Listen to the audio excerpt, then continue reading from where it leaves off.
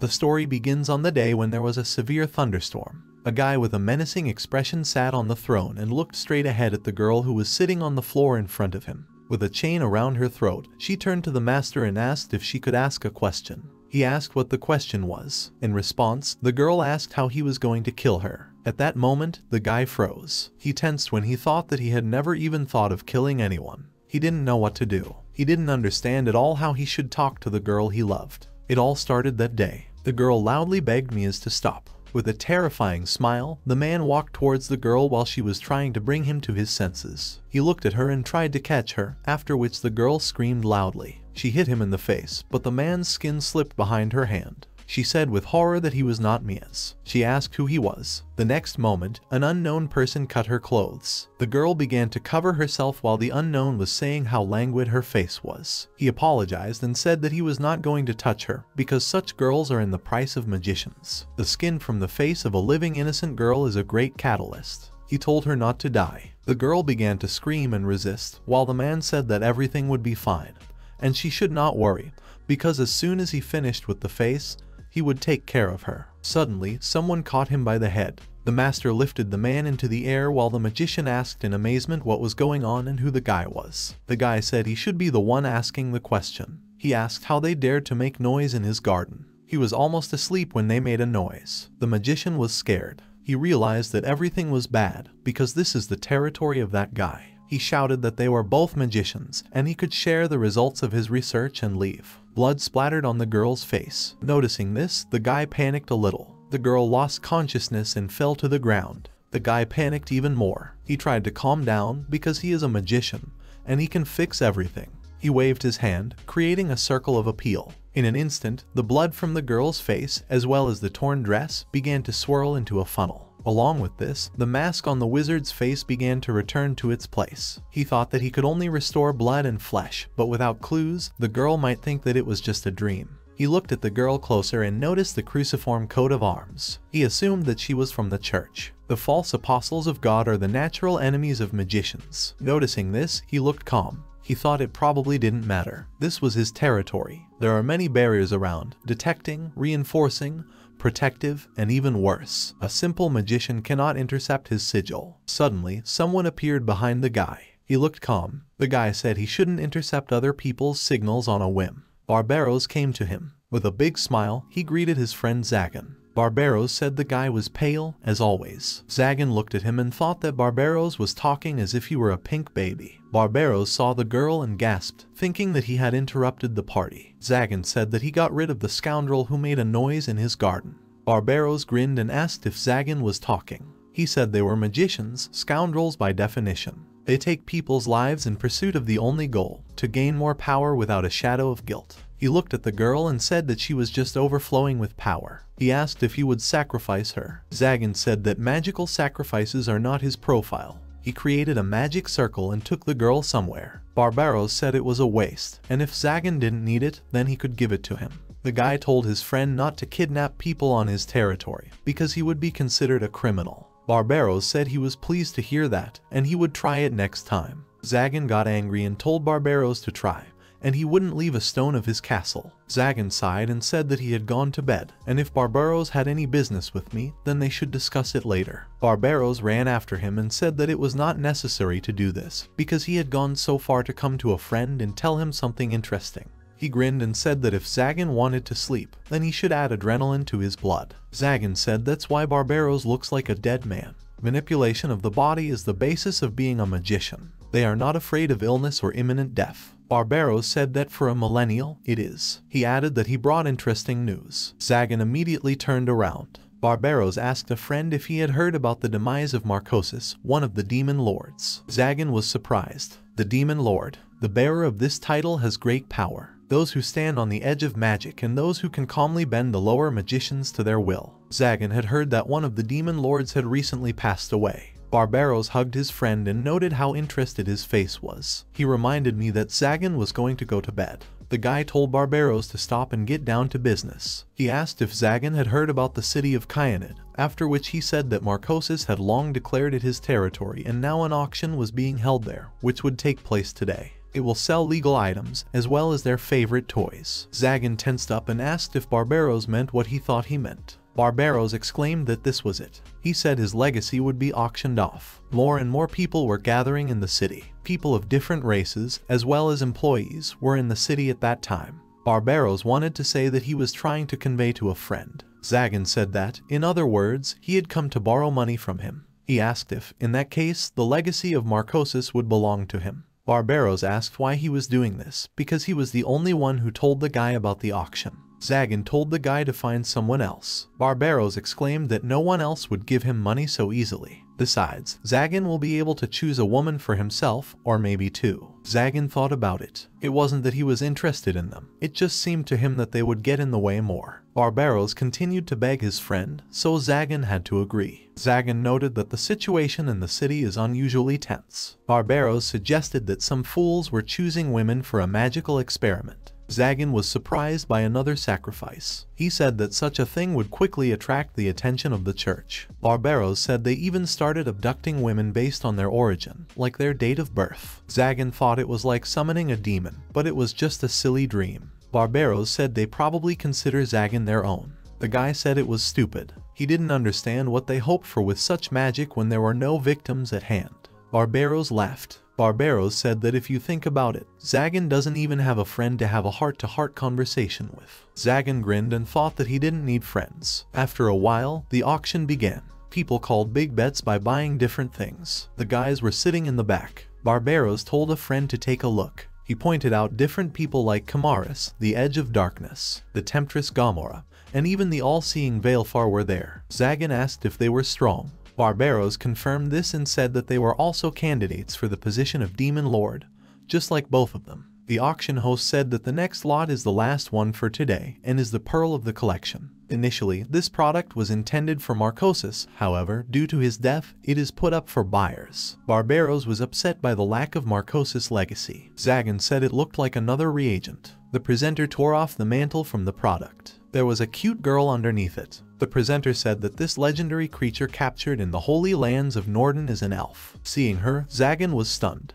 The presenter said that this is a woman of the highest quality. She is suitable not only as a ritual sacrifice, but also as a servant of carnal pleasures. He also noticed the girl's white hair. They can do whatever they want with it. There were no tweaks or dyes, and this is her natural hair color. He said he could start with 10,000. Suddenly, someone in the audience said that they would take it for a million. Everyone turned to this man in shock. Barbaros looked at his friend in amazement. Zagan confidently said that he would give 1 million in curiate gold. The presenter thanked the guy and said that it was a very impressive price. Barbaros started shouting that even for an elf it was too much. However, Zagan was fascinated. He didn't know what kind of feeling was in his chest. If you try to put it into words, she was beautiful. He wanted to help her, to see her smile and touch her skin. Zagan said that there was something in her that he wanted very much, and he finally found it. Barbaros exclaimed, asking what kind of ritual Zagan was going to use her in. The guy glared at his friend, after which Barbaros turned pale. Zagan went down to the stage, where the presenter congratulated the guy, saying that he was becoming the owner of a white-haired elf. The girl stared at the floor in silence. Zagan didn't know what to do or how to handle her. He didn't know if she was okay or if she was under someone's influence. The presenter asked if Zagan was feeling unwell. The guy noticed the chain around the girl's neck and asked what it was. The presenter said that this collar seals her magical powers. There is a possibility that she will escape if Zagan takes it off, so he needs to be careful.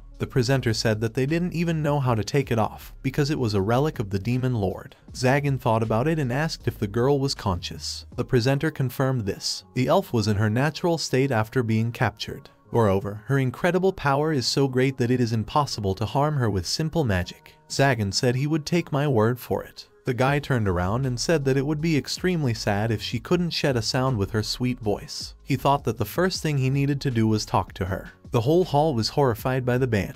The elf just looked at him in silence. Zagan didn't understand at all why everyone was reacting like that. And that's how they came to the fact that the girl was asking how he would kill her. She said that if she knew, then she would be able to prepare properly. Zagan jumped up and said that he had no intentions of taking her life, and vice versa.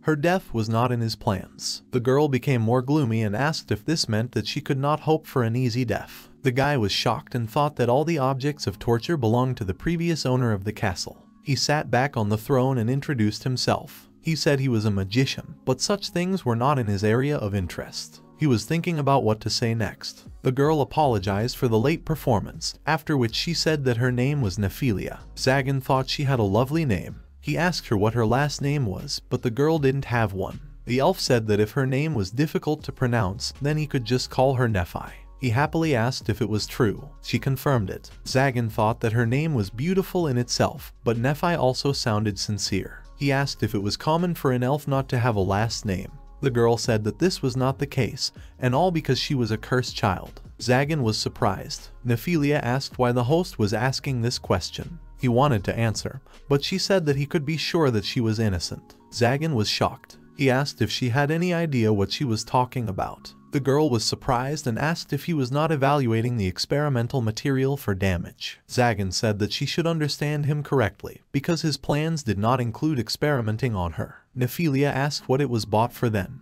After a short silence, Zagan said that she wasn't supposed to know. He didn't understand what kind of nonsense he was talking about. He thought that buying it at auction because he fell in love at first sight looked decent for a bad person, no matter how you look at it. After all, they couldn't live together without her seeing him as that kind of person. Suddenly he thought that he would live under the same roof with this unfortunate girl. He tried to calm down, because this is not typical for powerful magicians. He said they should choose her room first. He said she could choose the one she liked. The girl asked if she could really choose where to die. Zagan screamed that he wasn't going to kill her. The girl said she did not understand how the owner planned to use her, how it could not end in death for her. Looking at Nephilia, he remembered himself as a child. He said he only bought her because he needed her, so the subject of her death is closed. The girl looked at him and asked in shock if the master really needed her. The guy said that it was so, and the reason was that she had to lie for his sake. Nephilia was shocked. She stood up and agreed. This was the beginning of their long life story. Walking through his castle, Zagan snapped his fingers and turned on the light. Speaking about the room, the guy asked Nephi how she tolerates height. The girl said that she calmly endures both hanging by the neck and by the hands. Zagan asked who was talking about this. Nephi apologized and said that this was the first thing that came to her mind when it came to height. He thought that she had been raised to become a test rat, and perhaps this behavior was expected. While they were walking up the stairs, Nephi stumbled and almost fell, but Zagan quickly caught her. He exclaimed to her to be careful, because the steps there are steep. The girl agreed. Zagan held her hand and led her. Suddenly, he realized what was happening, and he blushed. He thought it happened when she stumbled and almost fell. He noted that it was too late to let go. They reached one of the rooms and Zagan said that he doesn't use this room at all, so it might be a little dirty. As soon as he opened the room, he saw a huge guillotine. He immediately slammed the door. Nephi was depressed. She told him to do as he pleased. Zagan exclaimed that she had misunderstood, and it was definitely a trap for thieves. It was too stupid an excuse even for him. He created magic and said that he did not need this item, and only took up space. He decided to clean up a bit. Immediately after that, an explosion occurred in the room. The door fell out, and only a black spot remained in the room. Zagan thought it was hard to say if the room could be used as a bedroom, but at least he had removed the inventory that had scared Nephi. The girl said with horror that it was the first time she had seen such destructive magic. Zagan tensed, because of course she would be scared if he suddenly used combat magic. His constant communication only with Barbaros led the guy to an extremely bad habit. He said it wouldn't do, and it was too corny. Nephi asked if this could be considered trivial. Suddenly the girl saw something and went forward. She went out onto the balcony. Nephi stared at the moon intently, then stretched out her hands towards it. Zagan asked if she liked the moon. The girl dropped her hands and said she didn't know. After that, the guy also pulled his hand towards the moon and said that he had not caught it. Nephi said she thought so. She continued to stare at the moon. After a short pause, she asked if she could stay in this room. Zagan turned and looked at the charred room. He asked if Nephi would be comfortable there, because they could find a better room. The girl said that she liked it, because, after all, this room was prepared for her by a master. Zagan agreed and said that the room was at Nephi's disposal. The girl thanked the master. Suddenly Zagan was surprised. Nephi asked what was wrong. The guy said that he had not heard words of gratitude for a long time. The girl said she hadn't thanked anyone for too long either. Zagan noted that he had heard her, after which they continued to look at the moon together. After a while, the sun began to rise. Tired, Zagan sat on the throne, thinking that he couldn't sleep even for a second. Nephi was sleeping on the floor next to him. He thought that it was simply impossible to do nothing when such a defenseless girl was sleeping next to him. However, he would not have had the courage to do anything.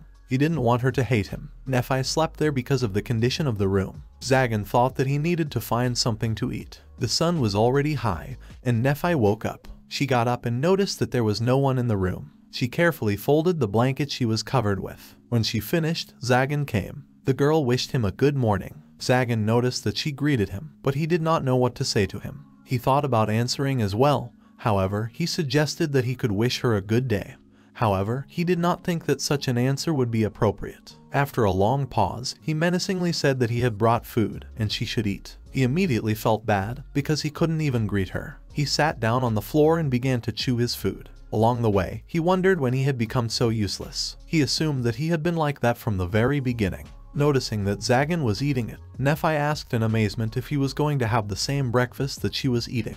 The guy was surprised and asked if it was really strange. Nephi hesitated and said that this was not quite true, and it was an honor for her to receive the food. However, seeing the master eat the same food was a little strange for her. Zagan was looking at the girl in surprise when it suddenly dawned on him. He looked at the dried meat and milk that he had brought and asked if it could be too meager food. Nephi said a little nervously that this kind of food is usually given only to ministers. Zagan realized that, in other words, it wasn't even food, but only animal food. Zagan wondered if she was worried about him instead of being angry. He thought that this was unlikely, and it suited her very well to say that the guy would die if she did nothing. He became even more nervous. He took a piece of dried meat out of his mouth and thought that it couldn't even be called food. He somehow didn't pay attention, because it was a familiar meal when he was a tramp. He looked up and said out loud that he was wondering what normal people would eat then. There was sadness on his face. Noticing this, Nephi tensed up a little. She swallowed hard, then said that it might seem rude on her part,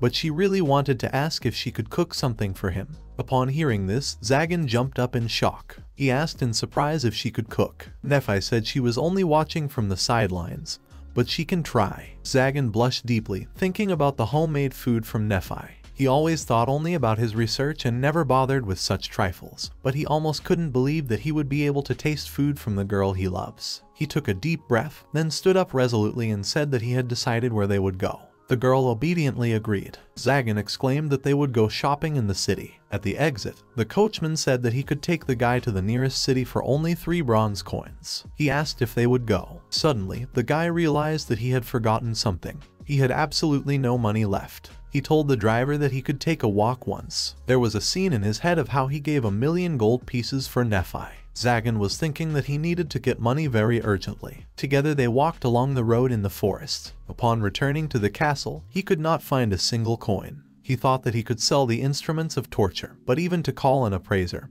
he already needed a decent amount of money. He thought about how he should have attacked the wagon and robbed them. When he thought about it, only one thing stopped him. He turned and looked at Nephi, who was silently following him. He didn't know what she would think of a man who was acting like a robber. It only meant that the attack was cancelled. He thought about thoroughly cleaning up the castle and opening a cafe with Nephi.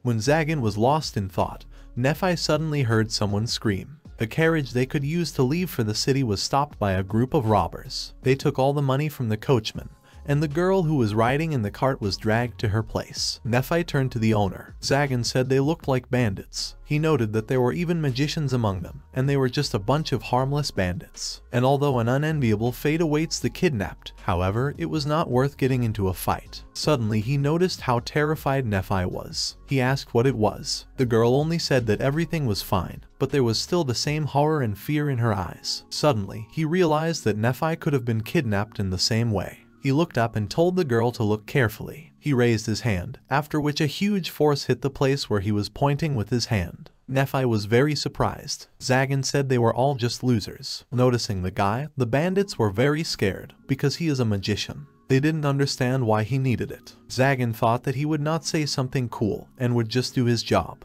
The bandits began to shout so that others would not run away, because the magician would not have time to cast a spell. One of the bandits rushed at the guy with an axe and said that they would smear him on the ground. Zagan managed to stop the axe blade with only one hand, which surprised the bandit. The man exclaimed that this could not be. Zagan grinned and asked what kind of fool would try to fight a magician with brute force. In the next instant, he gripped the bandit's axe with all his might, causing it to shatter into splinters. He pushed the man away slightly, after which the bandit flew to the side with all his strength while blood was flowing from his nose. He flew straight into another bandit. Zagan thought that in the face of fear, they were simply incapable of anything. He wanted to show Nephi that such people are not worth being afraid of. He turned to the girl and told her to stay behind him. The Nephi were shocked by what had happened. The bandits began to shout that their chief was pinned down. They panicked and asked their master for help. The next moment, a man in a black raincoat materialized out of thin air. He said it was an amazing sight to see a magician doing justice. Zagan realized that this was a mercenary magician.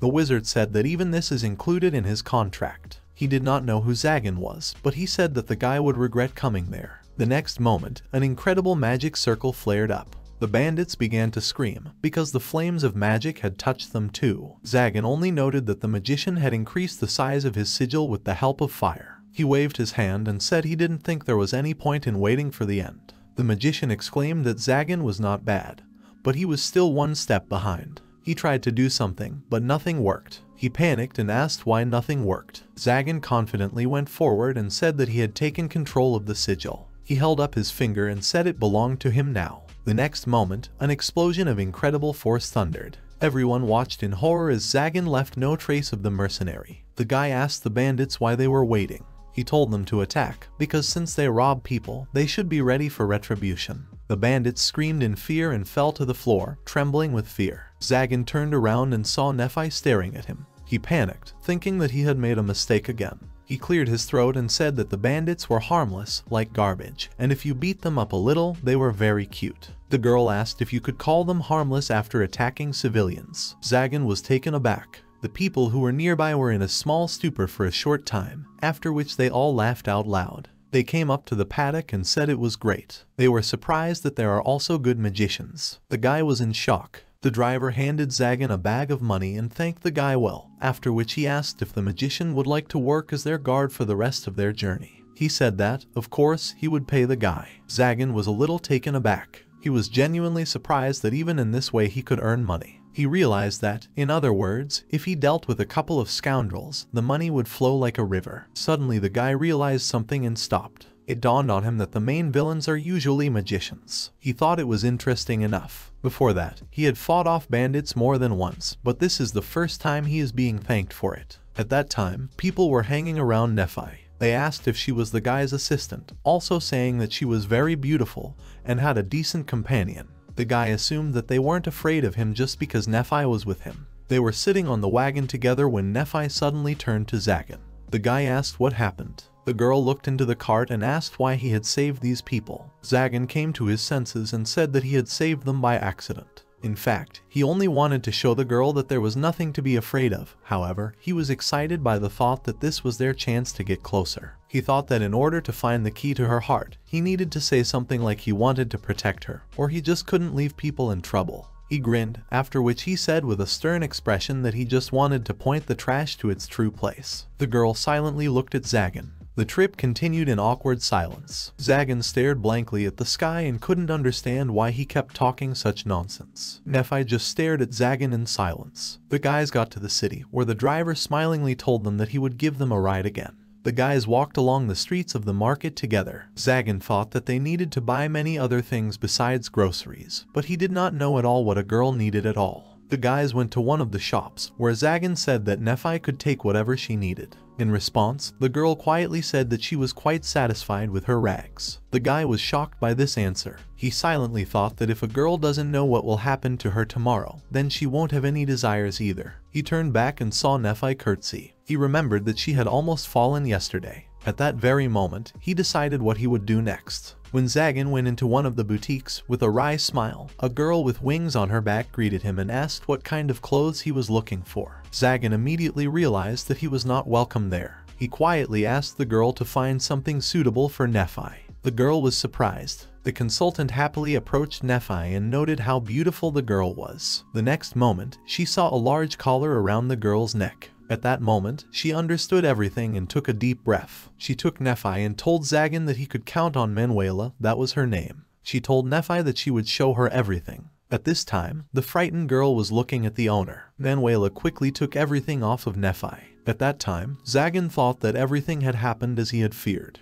The collar attracted too much attention. He remembered the words of the presenter, who said that if he was removed, there was a possibility that Nephi would try to escape. He stopped abruptly. The very next moment Manuela came into the room and asked what Nephi Zagan would say about the outfit. The guy looked at the girl wearily when he saw a very revealing outfit in shock. Nephi was very embarrassed. Zagan exclaimed in shock, asking what it was. Manuela happily asked what the guy thought about it, after which she said it was the perfect combination. Zagan loudly asked why this was, and then asked if he hadn't asked for something appropriate. Manuela was surprised and said that she thought this was exactly what Zagan's tastes were. The guy wondered who she thought he was. Zagan looked at Nephi, and suddenly she was very confused. She blushed and asked him not to look at her. Zagan quickly told Manuela to pick up her usual casual clothes. The consultant said in frustration that such a model had been caught. Zagan exclaimed for her to quickly put away the thing in her hands. She was holding underwear. Manuela took Nephi away and started asking about different kinds of clothes, after which she laughingly said that it was just a joke. Zagan sighed heavily. After a while, Manuela brought out Nephi,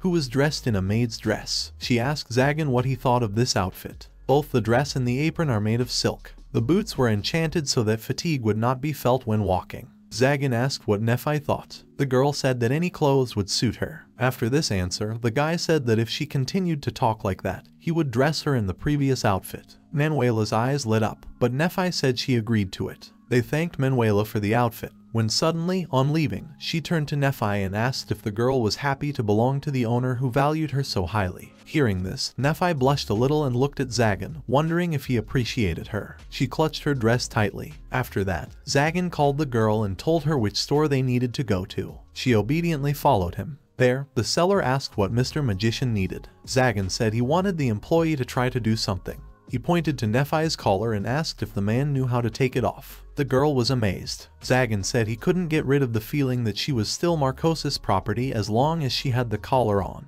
He said she didn't need it. The man agreed. Zagan walked away and began to reproach himself for treating Nephi like property again. The man asked the magician if this thing was enchanted. He said it didn't seem like they could help. He also added that he was embarrassed to say this in front of Nephi, but there might be traps in the collar. He said that if they tried to take him down using force, they could harm Nephi. Zagan noted that everything is exactly as he suspected, and this is too dangerous a way. Of course, he guessed about this, but the auction staff did not have a key. He handed a couple of coins to the seller and said it was a token of gratitude. The man refused and said that he had not even done anything like that, and would not have charged Zagan. He said that the guy had saved him once. He said it was almost a year ago. His wagon was attacked, but Zagan saved his daughter and himself. Then they fled in terror, but Zagan did not even try to catch up with them. He apologized to the guy. The guy assumed that they were attacked by the abomination that he was chasing around. He said that in this case he would take his money, but the man should not forget about that meeting, because he himself does not remember anything. The man said he would not forget her, and Zagan could come if he needed anything. The guys came out, and Zagan was completely perplexed. He didn't understand at all what was going on today. Everyone was so friendly that it terrified him. He wondered if it could be because he had taken Nephi with him. The man was sitting in the shop and did not know who would have thought that a person with such a repulsive aura could have such an expression on his face. The man smiled. The guys came to a cafe where there was a luxurious meal in front of them. Suddenly, Nephi hesitated and asked the guy if he really wanted to take off the collar. Zagan confirmed this. Nephi asked if he was afraid that she would run away from him if he took it off. The guy thought that, of course, it bothers him, because that's probably what will happen, because she doesn't need to be near him. But he thought that even if she ran away, he said he couldn't take it off right now, so she shouldn't get her hopes up. Zagan began to worry again not understanding why he simply could not say that he wanted to take off the collar. Hearing this, Nephi smiled and said she understood. Zagan wondered if it could be that there is some kind of textbook that tells how to talk to girls. Suddenly, he noticed that the girl was not eating. He asked what it was. Zagan assumed that she didn't know how to use a fork. The girl said that she knows how to use appliances, but this is the first time she has eaten like this. Zagan looked at her as realization dawned on him. He finally understood what attracted him so much to her. He used to be like that himself, helpless, homeless, in a world filled only with despair. He started eating and said that if she liked the food, then she should just eat. because she had nothing to be shy about there. She tried to answer, but he told her to eat. After that, he added that the food was better than the jerky they had eaten in the morning. The girl looked at the dish and then thanked her for the food. She tried to pick up a tomato with a fork, but she couldn't. Zagan stared at her in silence, which made her blush with shame. Suddenly she saw a spoon on the table. He immediately took it and put the tomato in his mouth. She rolled it in her mouth while Zagan just silently waited for her to start chewing. The next moment, she saw through it and was surprised. She chewed it and swallowed it. Zagan asked how her food was. The girl said admiringly that she thought it was very tasty. Zagan smiled. She said she thought it would be sweeter, but it turned out to be juicy and tender. Zagan thought that these little tomatoes really looked like candy. He tried to pick up a tomato with a fork, but he also failed. He was silent while Nephi also looked at him. He sighed, then tried again and again, but it never worked out. There was an awkward silence. Nephi lifted a tomato onto a spoon and handed it to the guy. Seeing this, Zagan was amazed that she wanted to feed him. He also noticed that she was touching her lips with this spoon. He wondered if this was normal. He quickly stretched out his head and ate a tomato with a spoon, after which he said that it was very tasty. They both blushed deeply. Nephi noticed that the master never ordered her to do anything. The same red guy agreed with this. Suddenly, the girl said that she wanted to be useful to Zagan, after which she asked if he would allow it. The guy looked at her in surprise. He agreed and said that it was in case she wanted it. Nephi thanked him and said she would try her best. When Zagan was able to take the tomato with a fork, he handed it to the girl. Nephi was surprised. He asked if she didn't like them. He told her to take it. Nephi blushed, then ate a tomato. He asked her how she was. The girl said it was very tasty. Suddenly, they heard people in the cafe laughing at them. Immediately after that, they left there. They rediscovered this relationship. The master and the maid. For a while, their lives went on quietly. At this time, in the huge building, the knight girl was sighing. A priest came into the room and asked if something was bothering her. The girl immediately stood in front of him and greeted him. He said that there was no need for formality and noted that she was one of those heroes who defeated the apostates who were engaged in kidnappings. She said that four holy knights had also died because of her, and that the man had sent them under her command. She said she wasn't worthy of it. The man said that she took revenge and was able to return, so she should be proud of it. She thanked him, but thought it was a lie. They really found the culprits, and they turned out to be a magician and that they wanted to sacrifice the girl. But on the way back, their colleague attacked them. It was one of the magicians. He tore off and used their comrade's skin. She was on the verge of the same terrible fate. But the magician was not struck down by her, but by another magician named Zagan. His eyes exuded malice, and he killed his attacker without regret, and yet there was a kind of loneliness in him. The priest said that this is not the end. They examined the magician's shelter and found out that the organizer was still at large. The girl asked who it was. The man said it was Zagan, and he was the one behind the string of kidnappings. The girl exclaimed that it must be a mistake. The man said that it was very unlikely that he had nothing to do with it. Besides, magicians are evil. Even if he is not involved, they still have to punish evil. The girl turned to the eminence and asked him to entrust it to her. The man said that she had a great attitude, and this would be her assignment. She was the Virgin of the Holy Sword, the Captain of the Holy Knights, Castel Lilquist. The boy was caught by the head in a strong grip and lifted up. The magician laughed loudly, bringing his hand with the seal to the boy's face. The poor child screamed loudly. The next moment, the magician's hand was covered in the boy's blood. Zagan opened his eyes. Nephi asked if he was awake. The girl was standing in front of him. She said he was ready tomorrow and asked if he wanted to eat. Zagan asked in surprise if she had cooked breakfast. The girl confirmed it. The guy asked if she was really waiting for him to wake up. Nephi said she also admired his face. Zagan blushed. Suddenly he realized something and then hesitated. He quietly wished her a good morning. The girl also wished him that. Together they went into another room. The guy noted that he was finally able to say hello to her properly. They went into the kitchen, where everything shone with cleanliness. Zagan said in amazement that earlier the room looked like a cemetery. He noticed food on the edge of the table. He was surprised and asked if they had bought bread yesterday. The girl said she baked it herself. Zagan was even more startled. The girl asked if it was really that strange. Zagan said he didn't even know, because he had never met people who could cook well, especially something appetizing. Nephi's ears began to move, and she asked if it was true. Zagan was surprised and wondered if this could mean that she was happy. He asked if she had eaten. She said she hadn't eaten, and Zagan suggested we eat together. The girl said that she cooked only for him. Zagan asked if she was hungry. She said she forgot to cook her portion. The guy said that they would share a portion for two and invited her to sit down. She said that she had prepared a place only for him. Zagan thought about it, then told her to sit on his lap. There was a silence in the room, after which they both blushed. Nephi said she couldn't show such disrespect. Zagan, with a stern face, told her not to worry and just sit down. He began to reproach himself for his stupidity. The girl blushed and said that if it was the master's will, then she would do it. She sat on his lap. Zagan blushed, because it really happened. He handed her the food and told her to eat, but Nephi said it was too embarrassing. The guy looked at her drooping ears and said he guessed. She said he was too cruel. He told her to cook for herself next time. The girl agreed. He said he didn't mind repeating it, but she said she'd rather cook more. Suddenly, Nephi handed him a spoon. She asked him to let her help. The guy was shocked because she decided to pay back. He would like her to do this all the time, but she is too ashamed. The guy said he was warm, but he came to his senses and said it was because of the soup. Nephi blushed and agreed. After a while, Zagan was engaged, and she was cleaning up. Nephi asked what kind of research he was doing. The guy asked what it could be, if not magic. Nephi said it looked like her, but she didn't know what the circles and signs were. The guy asked if elves really had other magic. The girl said she didn't know because she couldn't do magic. The guy was surprised, because her mana reserve should be much higher than human ones. He pointed to one of the symbols and said that they were concepts endowed with power. They say these are old writings that seal the contract between the devil and God. He didn't know if it was true. Such symbols are the base, the blueprint of magic, and the magic circle consists of them.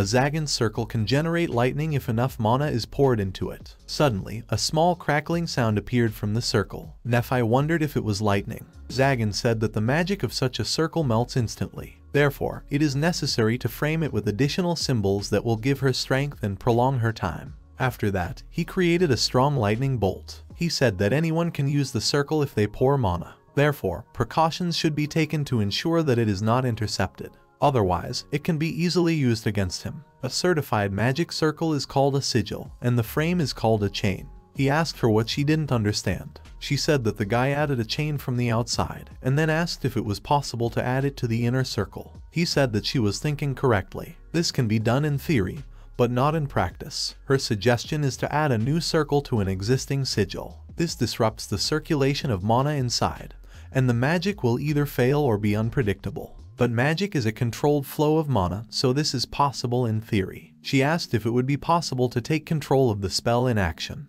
He confirmed this and said that if a magician is capable of this, then he will become invulnerable to magic. Any magic will only be a source of power. Such a magician will be the strongest. He said that theory remains theory, and if it were possible, it would be less hassle. Also, no one took up the study of this issue normally. Magicians are only interested in the limits of magic and resurrection. They are not belligerent like knights and mercenaries. Discussing guys is exactly how to fight, and can only be used to take away the labors of other magicians. However, there are still fools doing this. Nephi said she understood the principles, but doesn't that mean that anyone can do magic if they understand the process of creating a sigil? It was true. For a magician, gaining knowledge is equivalent to increasing his strength. Therefore, they defend their research in different ways. He told Nephi to be careful and not to touch anything. He added that he was joking, because he had already made sure that the traps did not react to her. Nephi said he was stupid. He asked why she was happy. Nephi asked how he understood. He thought her ears were showing everything.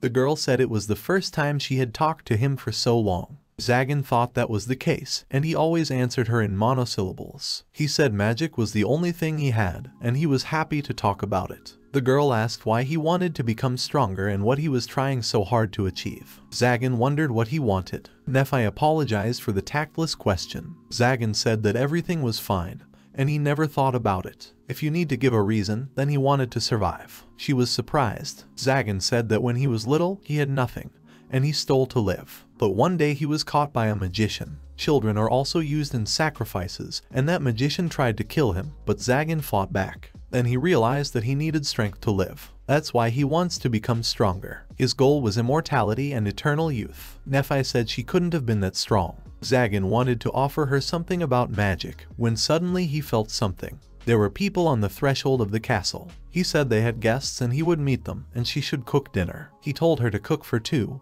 because they wouldn't stay long. The knights were shocked that the main culprit was there. They were walking in circles. Castle said it was a magical barrier. She told them to move away. She cut through the barrier with her sword. Zagan stood in front of them. He wondered if they didn't teach how to behave at a party in church. She said she thought it was him. Zagan did not recognize the girl. Nephi noticed that all the seasonings were in mold, and they needed to take more. According to legend, 12 holy swords defeated the demon king the strongest heart of the church and a symbol of its power. It is said that these precious swords themselves choose the owner, and one of them chose a 13-year-old girl who became the only female captain in the ranks of the Holy Knights. Zagan thought that they had already met. He realized that she was the one who was almost killed near his house. If he had known that she was a Holy Knight, he would not have let her go. Castle turned to him. Zagan said he was busy, and then attacked them. They said that magicians are really cowards if they attack without warning. They told Castle they would deal with him. Zagan suggested that they take their things and leave. They tried to attack him, but he easily broke through the shield and defeated the knight. He flew back. Zagan told them to leave if they didn't want the girl to carry three bodies on her. Another knight charged. Castle wanted to stop him, but he didn't want to. Zagan also easily broke his sword.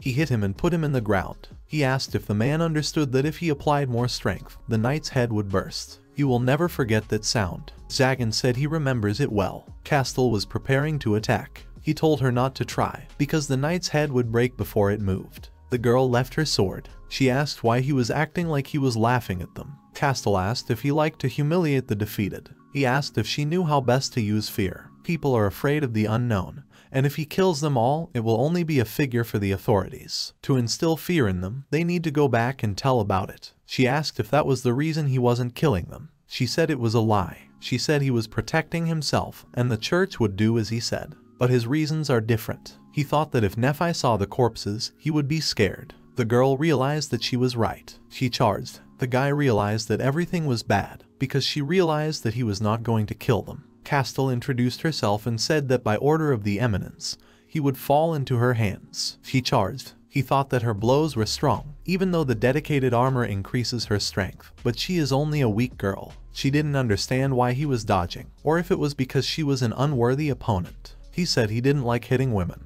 However, he just couldn't hit a girl the same age as Nephi. She asked why a man like him would get his hands dirty with magic. He asked if it was terrible. She said that magic is evil, and they use it to suppress people. The guy asked why the power of the priests was needed. He asked if they were using it to kill weak magicians. She tried to attack him, but he stood on her sword. He did not try to justify himself, but many would not have survived without magic. He asked if she was trying to get rid of such people, then could she call herself a righteous man of justice. The girl drooped. He didn't want to see her like this because it's harder to attack. She said that was why she couldn't lose. She attacked him, but he grabbed her sword. He asked if she wanted to face off, which she agreed to. Suddenly she spun the sword and threw Zagan aside. He noticed that she still had something left. Magic was slower to heal him. This was the effect of the holy sword. She attacked him again. He had no choice but to kill her. She asked if he could pretend that she had killed him. The guy was shocked. She said the church wouldn't stop until he died.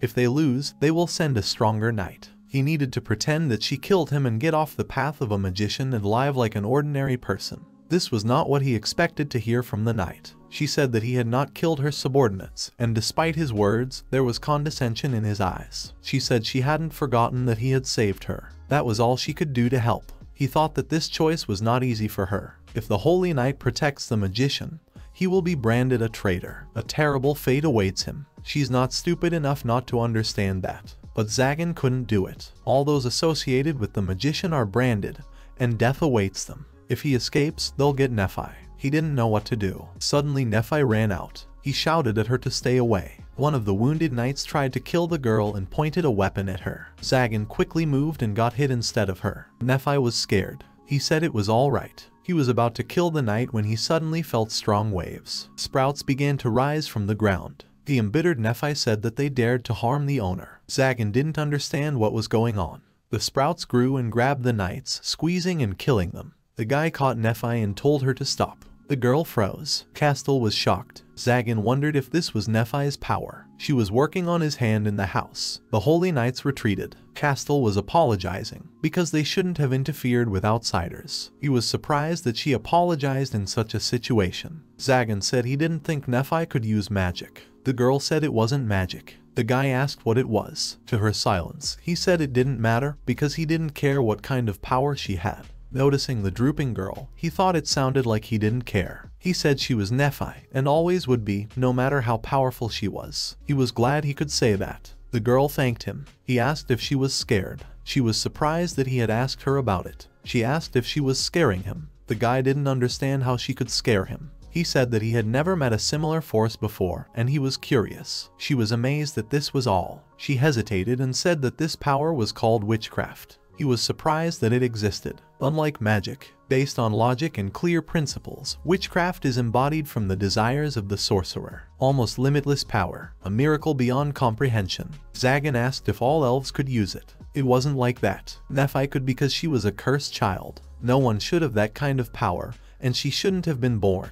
Therefore, when people attacked them, she was ordered to defend the village. They said she owed them for letting her live. When she heard that, something clicked in her head, and she didn't resist, and people caught her. Residents fled in panic. Most had been killed, and she had heard that elves could be useful even when dead. Looking at what was happening, she thought they deserved it. She asked if it was terrible. She had heard them curse her before she died, but she was glad. It was their turn to suffer. Then she realized what she had done. She stood and watched them die with a cold-blooded smile. She apologized to Zagan and asked if she disgusted him. He didn't understand why she should be disgusted with him. She tried to answer something, but Zagan said that in her place he would have killed the residents along with the attackers. He said she didn't understand something. She thought witchcraft was bad, but power itself is neither good nor bad. The labels are put up by the people themselves. She said what she did was unforgivable. He asked who wouldn't forgive her. Nephi wanted to talk about the villagers, but Zagan said they were dead and she should forget about them because they no longer have the strength to complain.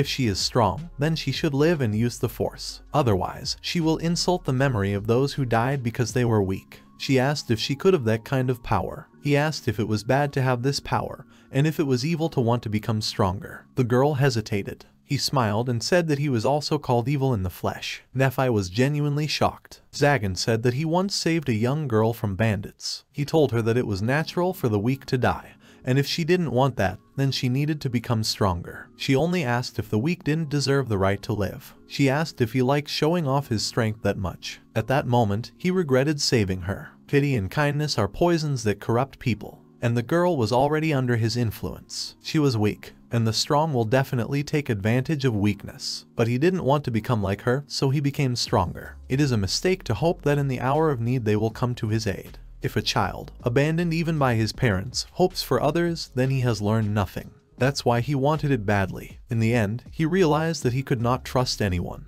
And although the feeling of loneliness tormented him, he did not attach any importance to it. He knew that he could only believe in his own strength, and that was enough to survive. And even though he said it, he was confused when Nephi became sad. Someday this contradiction will finish him off, and yet, even if he has to sacrifice his old life for it, he will not leave it. He told her not to make that face because he needed her. Nephi asked if she could stay with him. The guy agreed and said that she cooks delicious, and he can no longer imagine his life without her. Nephi burst into tears, and Zagan hugged her. She cried for a long time until she calmed down. Later, she said that the fact that he saw her like this was terribly embarrassing. He said it wasn't a bad thing, because it was the first time she had talked to him for so long. She scolded him. She asked if his arm hurt. The guy said he wasn't there anymore. She took off the bandage, and there was no trace of wounds on her arm. The guy asked if she had done it. He thought that the healing magic was not working because of the sword, and it happened when he touched it. He thanked the girl. He noticed her gaze and asked what it was. Nephi said it was the first time he had told her that. He was surprised that he had never thanked her and apologized. She said it was all right because she was his. At night, he was sitting in an empty hall when Nephi came up to him. He asked what happened.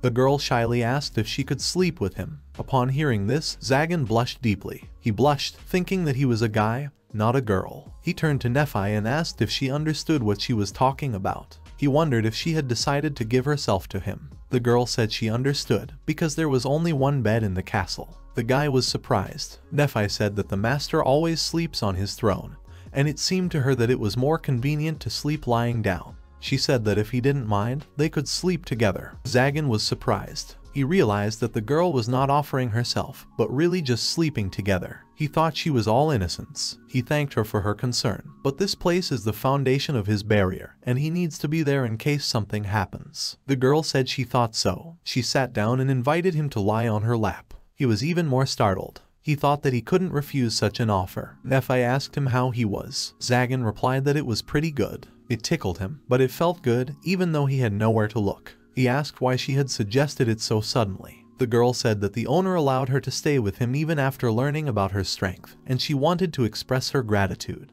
Zagan said she was already doing a lot for him, and they didn't need formalities. Nephi agreed. Suddenly he touched her face and asked if she wanted him to teach her magic. The girl was surprised. Zagan said that, judging by what happened today, she has no control over her abilities. He didn't know if training would help bring the force under control, but at least she would be able to protect herself. She asked if she could really do it. He confirmed it and said that she would become a magician even better than him. She asked if she could be useful to him. Zagan said she was already helping. Nephi asked if she could protect him. He asked if she hadn't protected him from the Holy Knights today. The girl said she was willing to learn magic for him. Zagan wanted her to do it for herself, but he didn't mind. From that day on, she became his student. She agreed and turned to him about the fact that yesterday he said that he did not understand those who were weak, and that he was able to do everything himself. Zagan said he said that. She noted that he said it with ease, after which she assumed that it was very difficult for him. Zagan was taken aback. He asked her what made her decide. She didn't know the answer,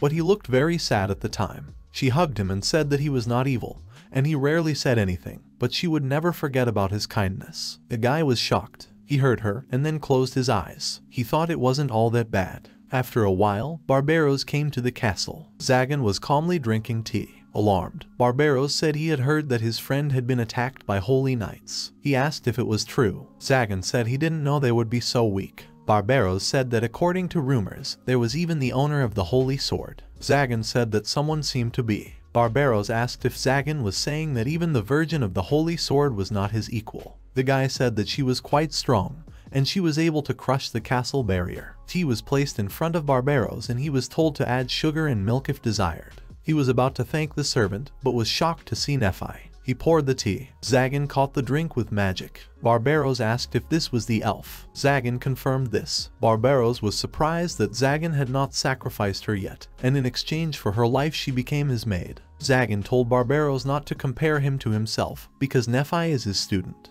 Barbaros was even more shocked. Zagan said that there is magic that he cannot handle alone, and he is sure that Nephi will be useful to him. The girl thanked him for these words. Barbaros took the tea and noticed that when paired with an elf, Zagan can use almost any magic. He didn't think it could be used like that. Zagan thought that their speeches were similar, but he did not like the mention of Nephi as an instrument. Barbaros asked if this meant that the elf had helped him defeat the Holy Knights. Zagan said it was due to the power of Nephi. Barbaros asked if this meant that the situation in the courtyard was her doing. He asked if Zagan had really decided to become a demon lord. The guy wondered if, if he became a demon lord, the magicians would leave Nephi alone. He didn't need the throne, but if he could get it, then he wasn't sure. He asked if there was a reason for him not to do it. He told Nephi that the tea tasted good. Barbaros sternly asked if his friend had any special feelings for Nephi. Zagan asked if it was strange to patronize his student. That word helped him out. Barbaros laughed and said that even in Zagan there is still something human. Zagan barked at his friend.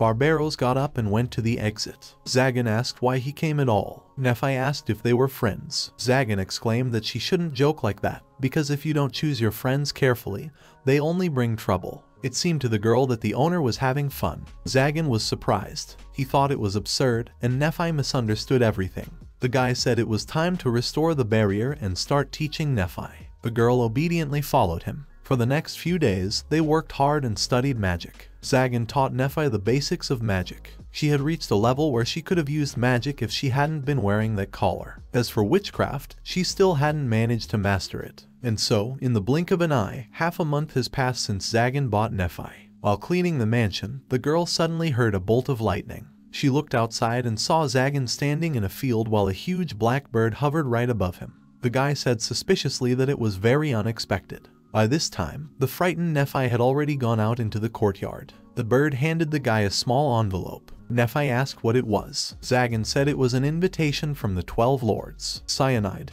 a thriving and bustling city riddled with a network of canals that are used to transport goods. Right under this city lies the abandoned castle of the demon lord Marchosias. And in this very place, the remaining Twelve Lords gathered, as well as Zagan. The guy didn't understand what they wanted from him. One of the lords noted that this is Zagan. The guy felt a chill on his back. The man said that he had heard that Zagan was young, but the guy was almost a child. They were curious, because Zagan could become the youngest among them. Zagan felt like a frog being stared at by a snake. It felt like he had already been eaten. The guy realized what the pinnacle of the magical society is the demon lords. He grinned at me. The guy asked if they had called him just to observe. He said that if he satisfied their curiosity, then he would probably go back to his business. The lords laughed at the harsh words of a guy in such a place. It was audacious. One of them said that, in that case, they would also speak directly. He exclaimed to Zagan that they had called him to join them. They offered him to become the 13th demon lord. Zagan was shocked. The Lord summoned magic of incredible power and told Zagan to see the seal of the Lord, which Marchosias possessed.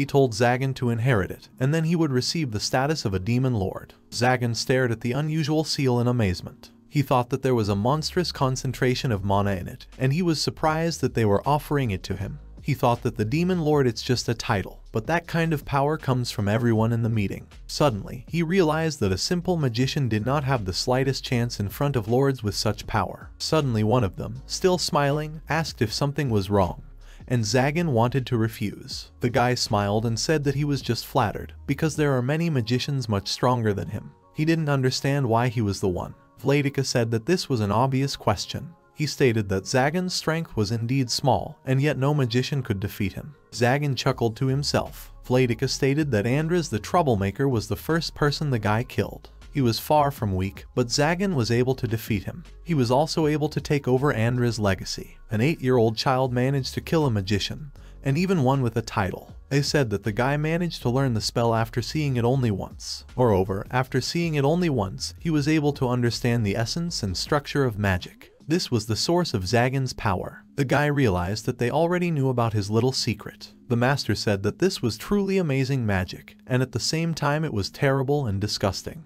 Whatever Zagan wants will be his, and no one will stop it. Anyone the guy wants to kill will die, and no one can resist it. If Zagan tries to get someone else's power, the magicians will have to give it to him without a trace. They said it was truly the power of a tyrant, a power befitting the title of Demon Lord. Zagan became stern. They said that one day he would become the most powerful magician in history, and therefore, even though he is weak now, he will still take a chance and give him the title of Lord. Everything was for the development of his potential and for the sake of the future of magic. Zagan turned away and said that if these words were true, then he did not understand what prevented him from taking their power right now. Suddenly, a strong pressure rose in the room. The lords confirmed this, but said that they were warning the guy, because it was possible that he would lose more than he would receive from them. Zagan turned pale, and the image of Nephi appeared before his eyes. They said that the revenge of the lords is not a threat of reprisal. They'll take everything, his possessions, his loved ones, even his name. They will destroy his very existence. That's what was waiting for Zagan.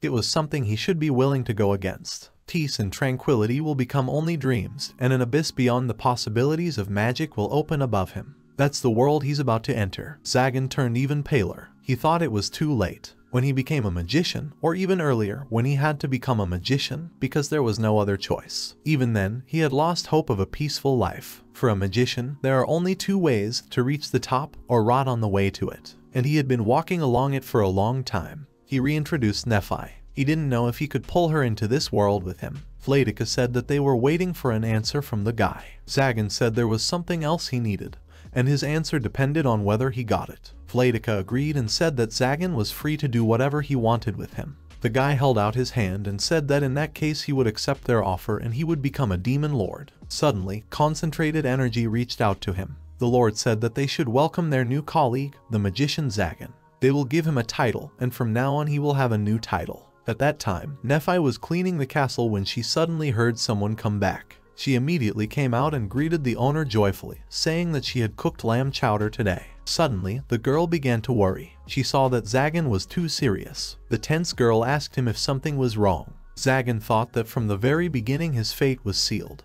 But Nephi became only a random ray of light that looked into this world. With a heavy voice, Zagan said that he had become the Lord of Demons. Nephi looked at him in disbelief. Zagan raised his hand and showed the mark. He said that he had become the ruler of all magicians, the one the others are following. He has climbed to the top of magic. Nephi was delighted and congratulated the guy on this. Zagan also said that he inherited the title of Lord, and with it he received the entire legacy of Marchosias. Suddenly he picked up a small key. He quickly brought it to Nephi's neck and turned it around. In the blink of an eye, the magic circle on Nephi's collar cracked, and Zagan said he was removing these shackles from her. Nephi looked at her neck in amazement, where there was nothing now. She looked at Zagan and tried to formulate her question. Suddenly Zagan said that the Lord no longer needed her help, and from now on she was free. After these words, he said goodbye to her. Nephi turned pale from shock. Nephi sat on one of the steps outside and stared into the void. Suddenly she looked up and tried to figure out what she was doing in this place. There were ruined buildings around her. She remembered that she had been cooking dinner recently. She was making lamb stew, which her master liked so much. She got up and thought she had to get back as soon as possible. Suddenly she heard a sound. She turned around and saw her collar on the ground. Nephi turned pale. At that very moment, she remembered what had happened earlier. She picked up the collar and said that the owner had thrown it away. She remembered how he had told her that she needed to live for him. All those moments when he took care of her, when he gave her a room and asked if she was okay.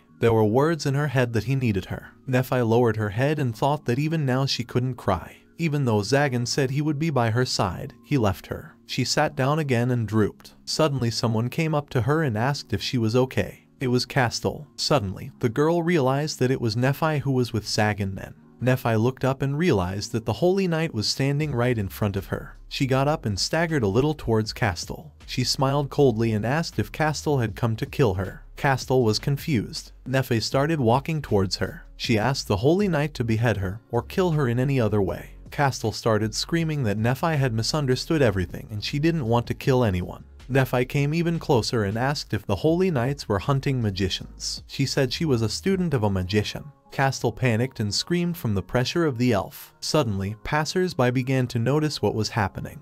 They recognized the elf as baby Nephi. They thought she was being accosted by a holy knight. They said it was probably because she was serving a magician. Nephi asked what was wrong. She asked if it wasn't a knight's duty to execute anyone connected with magic. Castle screamed at Nephi to stop talking like she was a murderer. Nephi asked if that was true. Castle exclaimed that it was a lie. Suddenly Manuela jumped up in front of the Holy Knight and ordered her to stop. Nephi was surprised. Manuela asked what Castle was doing. She didn't understand since when holy knights were allowed to harass little girls. She asked if Castle had no conscience at all. The girl began to say that this was not the case and tried to justify herself, but passers-by also joined in. They shouted that it was not because Nephi often buys from them, but because she is a kind-hearted girl. They said that Nephi's face even turned pale, and all because of this villainous. Nephi stared at it in silence, not knowing what to say. Castle also couldn't say anything. The crowd shouted at her to leave. She was told that she was a monster and not to come back. On her knees, Castle was trying to say something to the angry crowd. Suddenly Nephi intervened and said that the knight had done nothing to her. The crowd froze. They asked why Nephi was so pale. Castle, who was sitting on the floor, could not stand it and began to shake. She burst into loud tears and recalled that she had already said that she just thought that Nephi needed help, and she wanted to help her. Manuela felt awkward while Castle was sobbing non-stop. After a while, they stopped at a tavern, where Castle apologized for such unsightly behavior. There was silence. Manuela asked if she really hadn't done anything to Nephi. Castle asked how many times she could repeat it. The girl asked if Castle had done something earlier. The girl said she was doing her duty. Manuela stated that Castle was hiding behind debt to hurt people. Castle started crying again. Nephi said that everything was fine, because everything was fine. Manuela asked if it was true. Nephi said that the owner had been harmed by another person, and he had already learned his lesson. Castle remembered that the man now had a fear of trees. Manuela asked what Castle was doing then, and if she was carrying things. Nephi said she was carrying the others as they retreated. Castle screamed that this was not true, because she was the Virgin of the Holy Sword, one of the twelve commanders of the Holy Knights. She didn't understand how anyone could describe her like that. Nephi asked if she had lied about something. Castle hesitated. Nephi was surprised that she was so timid, because she seemed very brave during the task. Soup was placed in front of Nephi. The girl said she couldn't accept it and she didn't have any money. Manuela said she was treating the girl. She also added that Castle pays for herself. Nephi tasted the soup and thought it was so similar to what she cooked for the master. It was a lamb stew. Suddenly, Nephi began to cry. The girls looked at her in surprise and started asking if she was okay. Castle didn't understand if she had done something wrong, but Nephi wondered why the owner had done it. She started crying a lot. Manuela hugged Nephi. She said that Nephi could cry into her sister's vest as much as she wanted. She also hugged Castle. After a while, Nephi told about what had happened. The girls asked if he had escorted her out after that and hadn't even explained anything.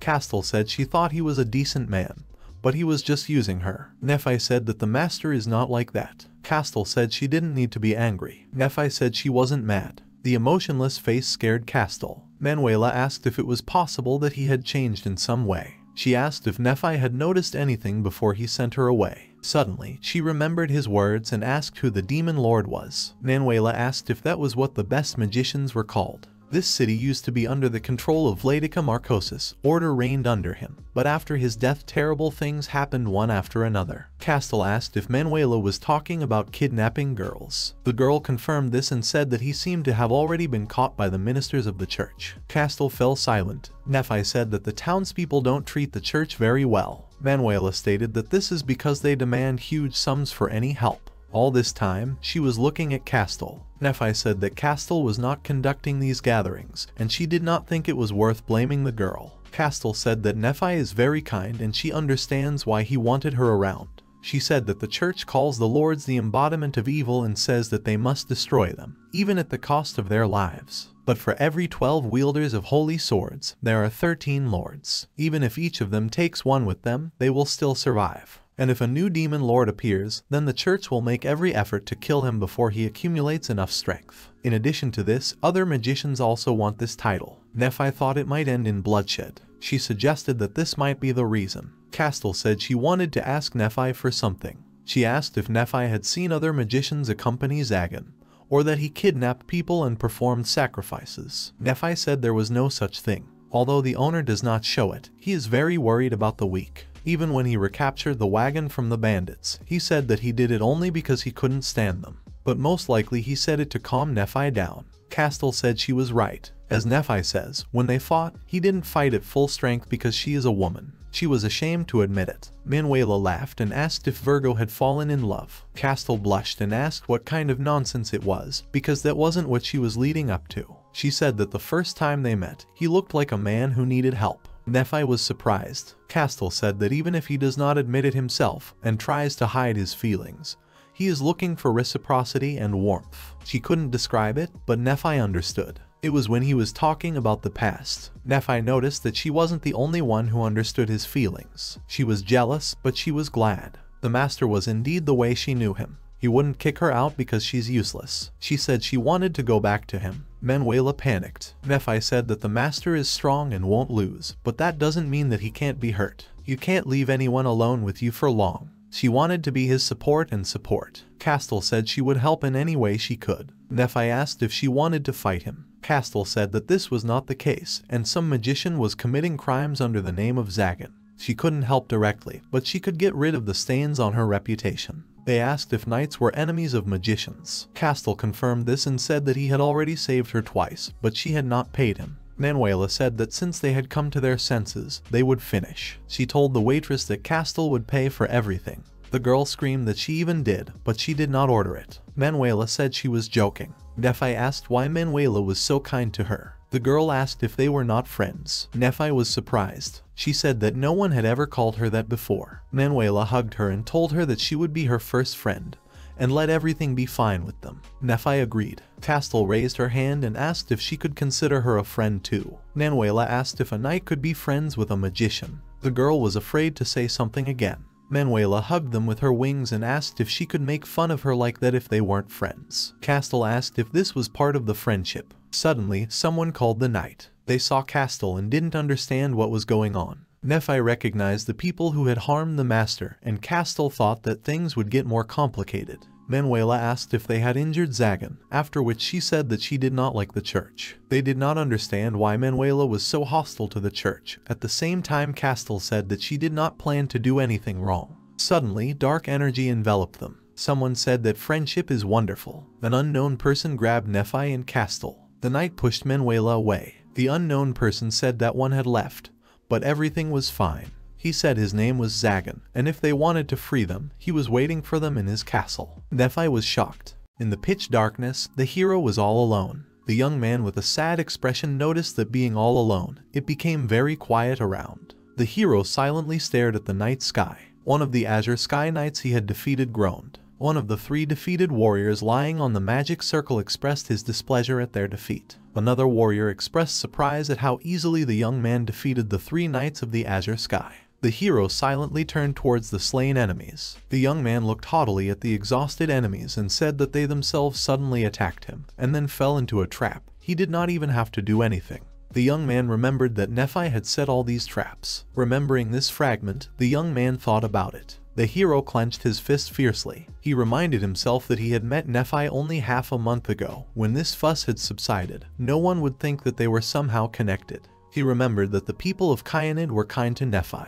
There, away from the magicians and the church, she will be able to live in peace. He had a picture in his head of the townspeople of Kyanid cheering and caring for Nephi. The young man turned around and set off. Behind him, one of the knights was lying on the ground, who clearly wanted to do something. The warrior grabbed the hero by the leg and frantically asked him to stop. The hero looked at the defeated warrior. The Knight of the Azure Sky said that they did not care what happened to them and asked the young man to spare Madame Chastel. Tears appeared in the knight's eyes. He added that his mistress was so sure that he was not behind the kidnappings that, trying to find the culprit, she contradicted the cardinal himself. He tearfully asked to let her go. The young man looked at the knight in disbelief and clarified the name of Chastel. He asked the knight in disbelief what he was talking about. Suddenly, a shout was heard addressing the young man. A winged woman fell from the sky and landed on the back of the knight's head. Her appearance slightly surprised the young man. The knight was clearly unhappy that the woman had painfully landed on his head. The warrior angrily asked the woman what she was doing, addressing her as a feathered one.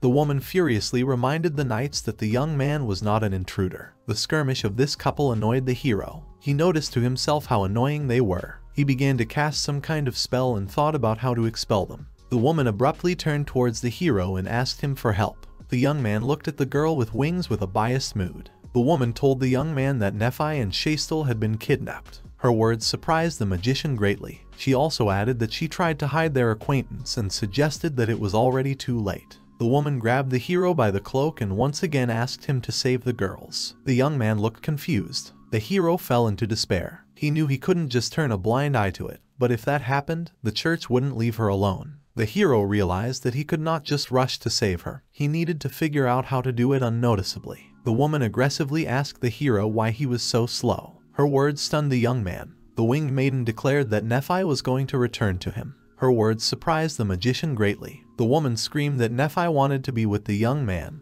to be his support. She added that no matter how many times he kicked her out, she would always come back. After her words, the girl got very angry. There were tears in her eyes. She asked the young man if magicians were so insensitive that he didn't care about her. She hit the hero's chest with her fists and angrily asked why the hell he was so kind to her. The young man felt pain. The hero realized that this pain was much more painful than any wound he had. He saw a tearful and very upset winged girl in front of him. The young man wondered if Nephi wanted to come back to him after all he had said to her. Remembering the old days with Nephi, the hero realized that he knew that despite the ears that gave her away, Nephi had special feelings for such a vile villain like him. The magician lowered his head in frustration. The young man thanked the girl, because her words brought him to his senses. The girl with wings was very surprised by his words. After that, the hero confirmed her words and agreed that magicians are a rabble. He added that they only think about themselves, the rest are nothing more than tools for them.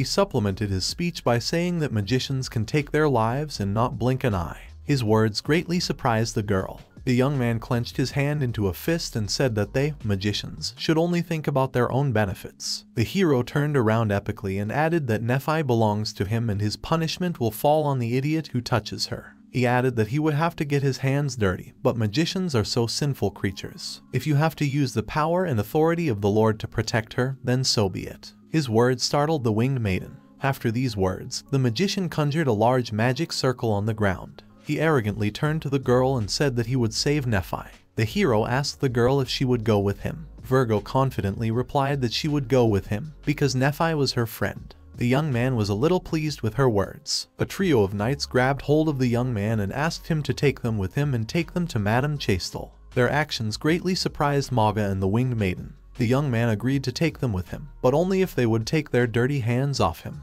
The woman noticed in confusion that some kind of shadow had kidnapped the girls and she didn't even know where they were. The magician calmly replied that there was nothing wrong with that. The young man added that he knows who is behind this. After that, he added that magicians are indeed incorrigible. Meanwhile, the kidnapped girls were chained to the cave by the wall. Nephi looked pretty exhausted. Chastel abruptly turned towards the girl and asked her how she was feeling. Nephi realized that she was handcuffed. Looking at the shackles, she realized that there was a power in these chains that suppressed magic. She wrapped her arms around her collar and noticed that this power in this collar is not as sophisticated as the one she was wearing before.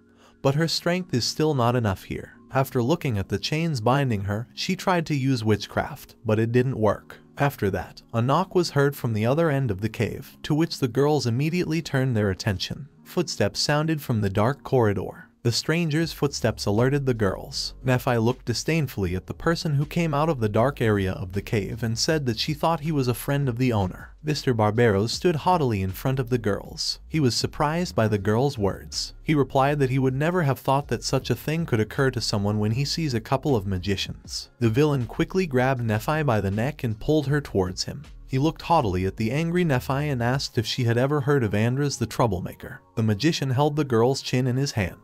Barbaros added that Andras was the first magician to be killed by Zagan, and he was his student. Saying these words to the girl, he remembered how he saw the dilapidated corpse of his teacher. His words shocked the girl. Barbaros smiled slyly and hoped that the girl would not misunderstand him. He said that avenging the teacher was not at all in the spirit of magicians. Barbaros' eyes filled with madness, and the magician told the girl that he himself would have killed him someday if Zagan hadn't done it. The magician released the girl. After that, Barbaros added that the castle that Zagan now owns, the money with which he bought it, and even his knowledge, all this was supposed to become his. The magician exhaled and noticed that he couldn't just drop everything and accept it.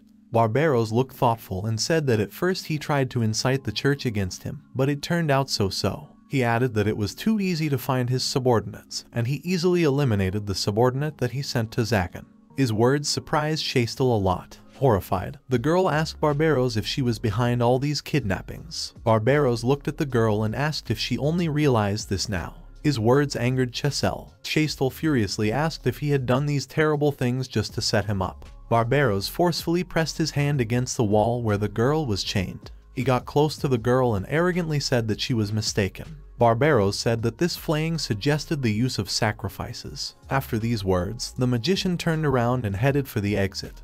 He added that they still wanted to conduct a major ritual. Barbaros turned around and solemnly declared that he had done this to prove to the 12 demon lords that he was the one worthy of becoming the next lord. All he had to do was eliminate the other candidates. The magician added that he was a little worried when the prepared victims were taken away from him, but then he received her. He said that the magical power of the white-haired elf would be enough to open the door. His words alerted Nephi. Nephi looked down in frustration. She lowered her head and said it was all pretty pointless. Barbaros noticed how talkative she was. He asked her if she thought he wouldn't kill her or that Zagan would come to save her. Nephi realized the magician's words and answered in the negative. She added that she did not want her current position to add trouble to the gentleman. She added that this was out of the question. Barbaros arrogantly asked what she was talking about then. Nephi replied that the title of lords had already gone to her master. Her words stunned the magician. Barbaros said aloofly that she was lying. Nephi calmly replied that it was the truth, which is why he got rid of her. Barbaros leaned against the wall in surprise. MGA was horrified by what he heard. He said it couldn't be. Then Barbaros realized that Zagan had become the Lord of Demons. The magician summed up that it was not enough for Zagan to steal Andra's legacy from him, so now he also took the throne of the Lord. Barbaros pressed his hand to his forehead. He was angry. The magician's condition horrified Nephi. The magician forcefully pulled on the chains and ordered the elf to stand up. Nephi fell to the floor of the cave. Barbaros viciously said that he would just take the title away from him if he completed the ritual. The magician led the girl into a large room with a huge and complex magic circle on the floor. He added that he would not care if he was the lord or not. Chastel shouted after the magician to stop and use her. She added that she was ready for this when she became a knight. Barbaros looked haughtily at the chained Chastel and replied that he would have found a use for her even without her reminders, but only the best tools were needed for the ritual. Hearing his words, Nephi fell into despair. She was replaying Barbaros' words in her head. She remembered her childhood and that she had been called that all her life. After that, she realized that her master had never called her a tool, not once. The elf tried to run away and screamed at the magician to let her go. She wanted to survive and return to her master. Even if he scolded and chased her, she would still resist and be with him in the castle. She wanted to cook for him and lay him on her lap and do everything to make him count. Her actions angered Barbaros and he forcefully pulled the chains down. Nephi fell to the floor. She understood that maybe her life was insignificant. Maybe the day would come when he would find someone he would value more than her. She told herself that she would not leave her master alone. Nephi got up from the ground and said that it didn't hurt at all. When he chased her away, the pain was much worse. Barbaros calmly watched the girl's actions. Nephi growled and began to gather her strength. The elf, with tears in her eyes, declared that she belonged only to the owner and added that he had no right to touch her. The magician smiled and began to collect mana in his fingers. Barbaros conjured a huge black flame with the intention of punishing Nephi. There was an explosion behind the magician, which broke through the wall of the cave, which stupefied the villain. Barbaros turned around in surprise. There was a fountain in the window that had been formed. He told Nephi that it was an excellent speech. Zagan arrogantly added that it was arrogantly why she was his student. Zagan turned to Barbaros. He asked him how long they had not seen each other. Barbaros was extremely displeased with his appearance. He haughtily straightened up and asked when Zagan had guessed this. Zagan calmly entered the cave. He replied that he began to suspect something when he showed up to Skin. Zagan also added that the magician who fell at his feet, tremblingly begging for mercy, was unable to break through his barrier. He also recalled that after the Flenser incident and after the clash with the knights, Barbaros claimed to be trying to make sure of something. Zagan added that it would be strange not to suspect him. The villain was confused when he heard his answer. Zagan said that this was not the point now and turned his gaze to the elf in tears. After that, Zagan cast a cruel look at Barbaros and rhetorically asked if he had touched Nephi.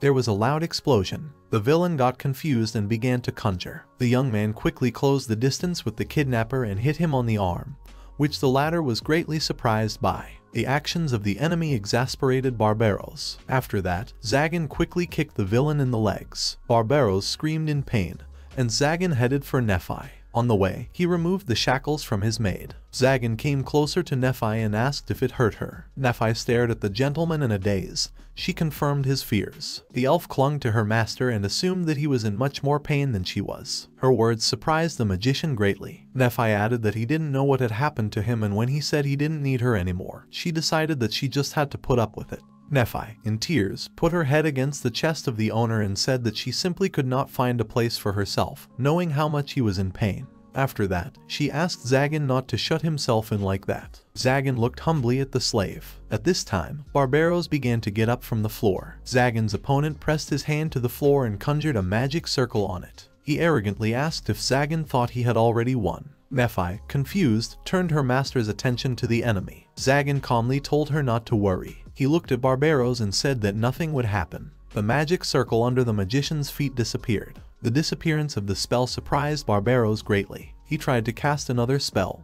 but his magic evaporated again. Barbaros didn't understand what was going on, because he was using the spell correctly. Nephi was shocked. She didn't know what was going on. Zagan reminded the maid how they had discussed with her the strongest spell that could theoretically exist. He talked about adding his chains to magic circles, taking control of other people's spells. There is one trick that can achieve a similar result. He added that it is enough to create exactly the same sigil as the enemy, and add your own circle to it. Zagan looked haughtily at the confused and angry Barbaros. He added that then a resonance-like effect would change the spell. Zagan remembered that he first used magic when he was 8 years old, when he killed Andras. He memorized the spell that Andras the troublemaker used to catch him and drew it in blood on his palm. It was just a childish trick. A layman mindlessly copying a form should not be able to use magic. And yet, when the magician caught up with him while trying to escape, Zagan used the same spell against the lightning that was supposed to kill him. At that moment, the resonating magic reflected in Andras and killed him.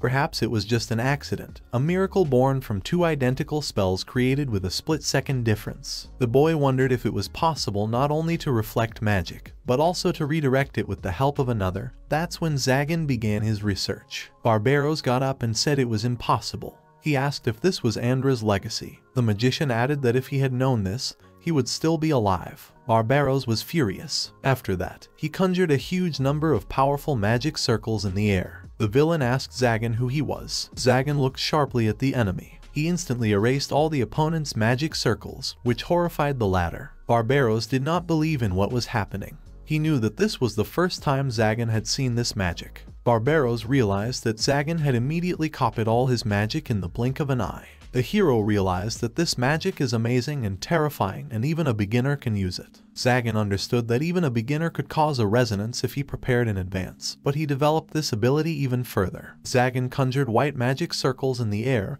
and drew his enemy's attention to them. He said they were sigils that would transform all the spells he was currently using. Zagan added that so far he can only redirect them to physical enhancement, his ability, but he will continue to improve this ability. Barbaros realized in horror that his opponent had absorbed his magic. Zagan took a step towards the enemy and notified him that he had finally been awarded the title. Zagan tightened his hand into a fist and added that he was now called the Killer of Magicians. Zagan struck the air and Barbaros received a powerful wave of magic in his stomach. Magic circles were placed in front of the Zagan and a powerful blow fell on Barbaros. The outcome of the battle surprised Nephi greatly. The defeated magician lay among the rubble and groaned. Barbaros realized that no magician could match Zagan in physical enhancement, because he had absorbed even his protective magic. The exhausted magician looked at Zagan. He realized that if he struck, even the Lord would not stand. Zagan took a sharp step towards the defeated Barbaros. The magician knelt down and asked Zagan to stop, and also stated that he was giving up.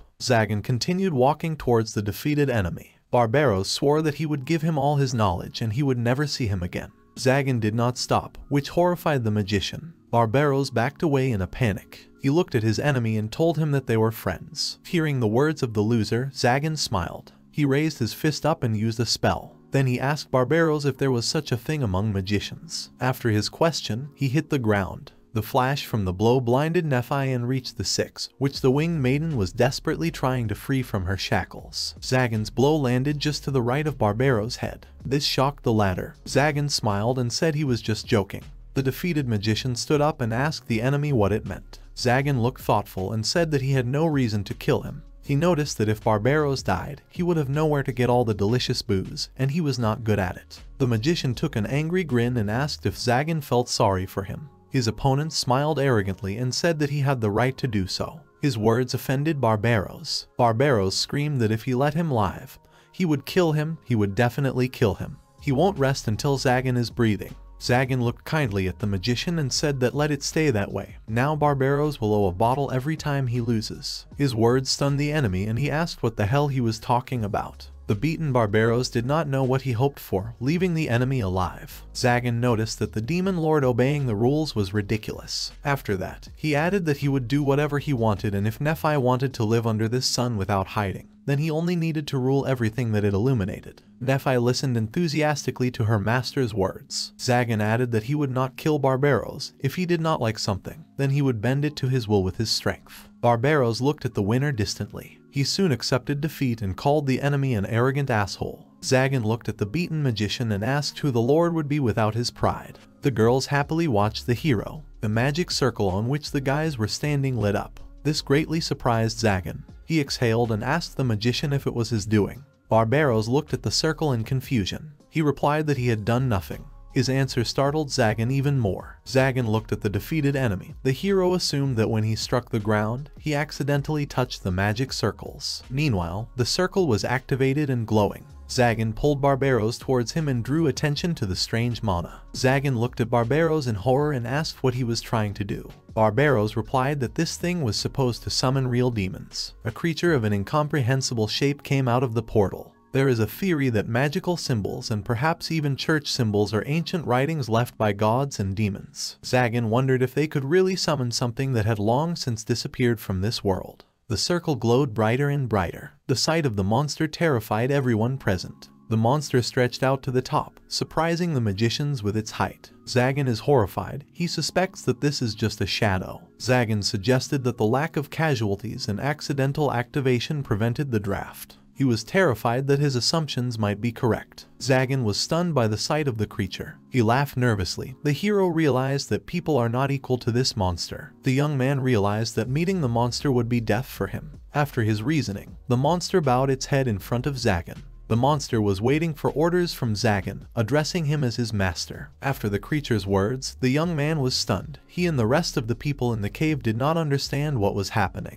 He was very surprised that it bowed down before him. A moment later, he realized that the monster had bowed before the seal of the demon lord. He was greatly surprised by this outcome. He didn't realize what he was actually able to inherit. The knights were crying with joy because their mistress was fine. One of them furiously said that they primarily care about Madame Chastel and the safety of the townspeople and they do not like to act in concert with the villain. Zagan listened to them with a calm expression on his face and asked them to leave. The knights were greatly offended by the magician's attitude. The warriors reminded Zagan that they had helped them get out of the cave. At this time, the winged girl turned to the magician. The girl said that the two of them, the magician and Nephi, should discuss everything thoroughly. After these words, the women flew to the knights and said goodbye to the guys, leaving Nephi in disbelief and Zagan in thought. Zagan turned to Barbaros and asked if he wanted to continue. Dejectedly, Barbaros asked what he expected of him after meeting this creature. He remembered how the monster had returned somewhere, most likely back to its own world. When Zagan gave the order, Barbaros got up from the ground and began to recall Zagan's words. He asked if he needed to bring a drink as an apology. Zagan smiled and confirmed his words,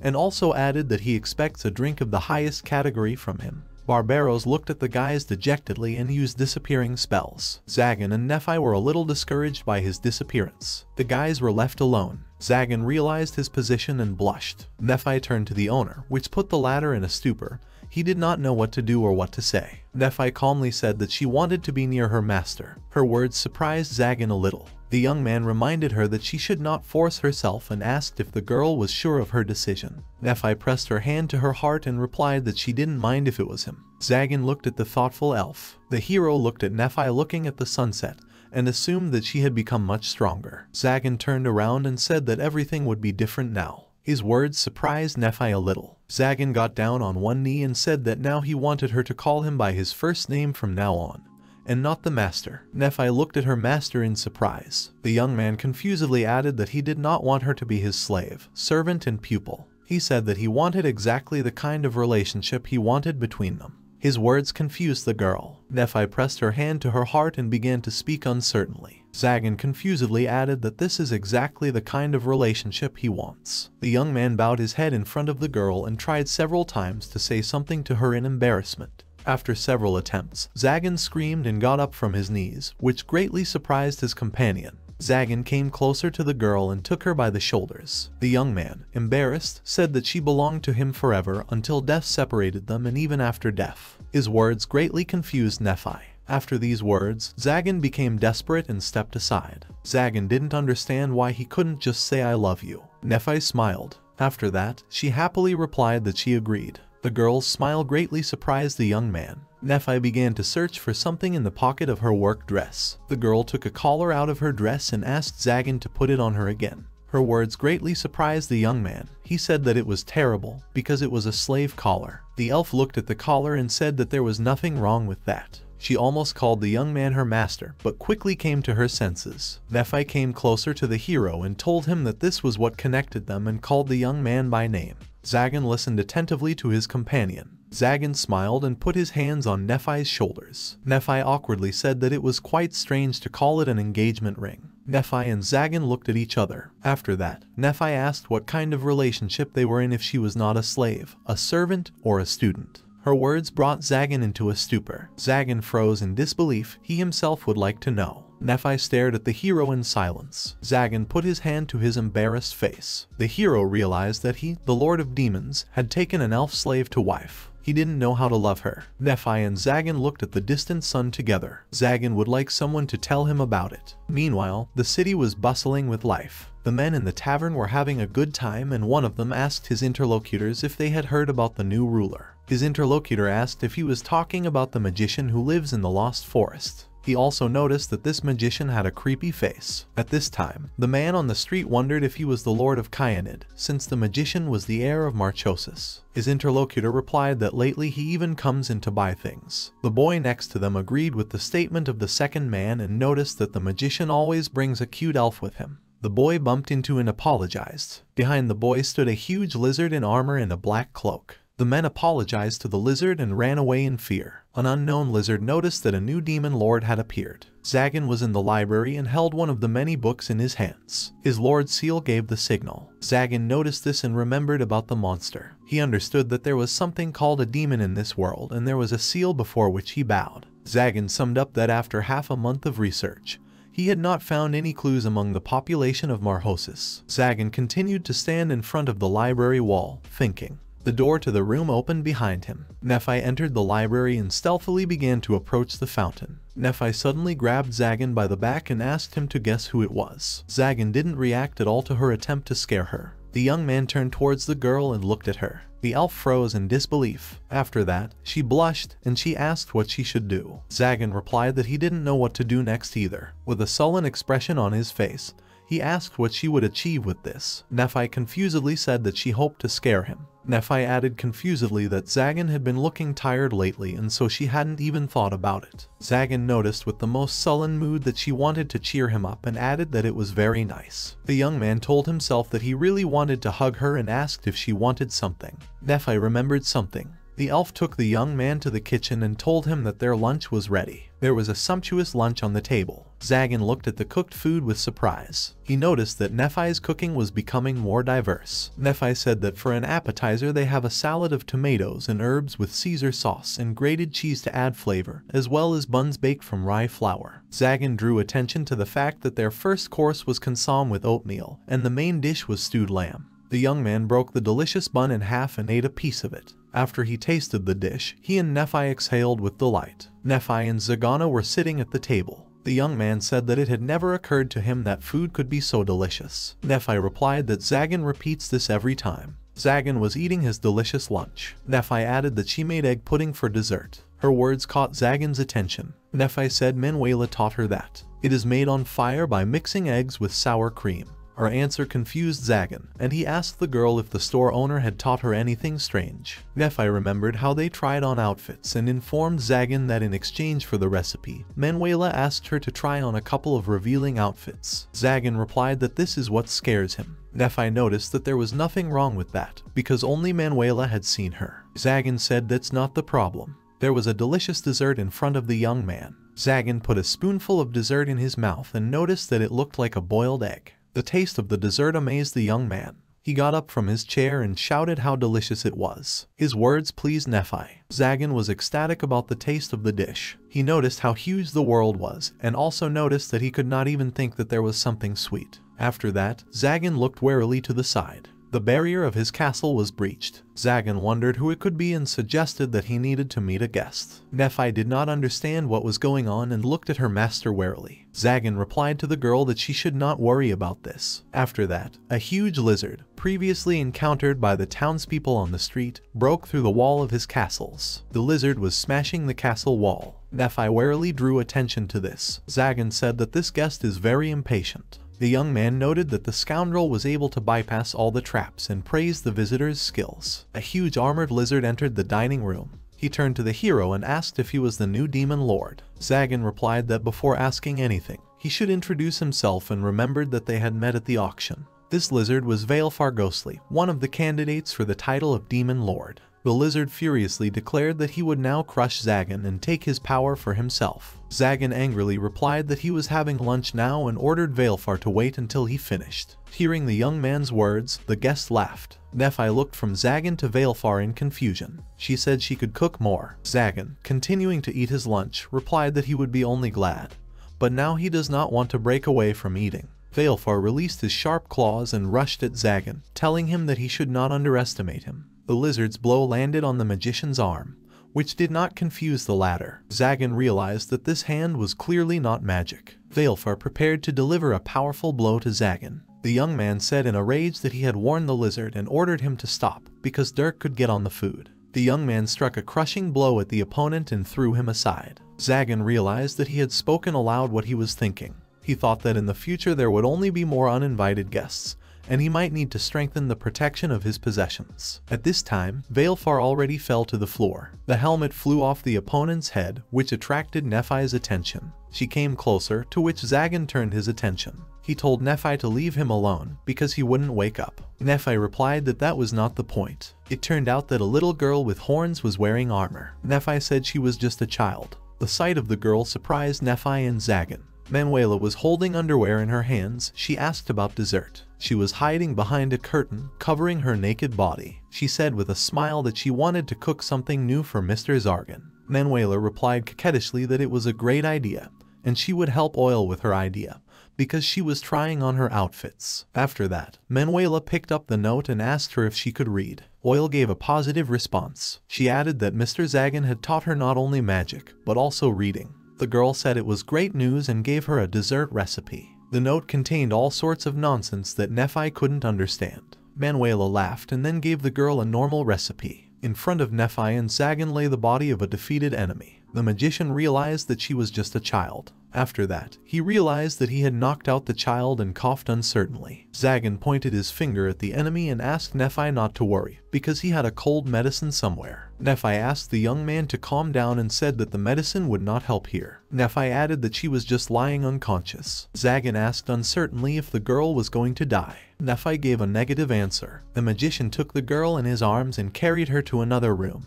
He said with displeasure that this intruder was a lot of trouble. His decision surprised Nephi, and she smiled after him. She went with him and told the young man that he was very kind. Zagan didn't understand what she was talking about. After a while, the girl woke up in bed. Zagan and Nephi were sitting next to her. She did not understand where she was. When she saw them, she was very surprised. The girl jumped out of bed and hit Zagan in anger. The magician calmly blocked her blow and said that it was better to thank Nephi, because if it hadn't been for her, he would have decapitated her long ago and thrown her far away. The girl was horrified by what she heard. She put her hand down. He knew that he would never have been able to do such a thing with Nephi.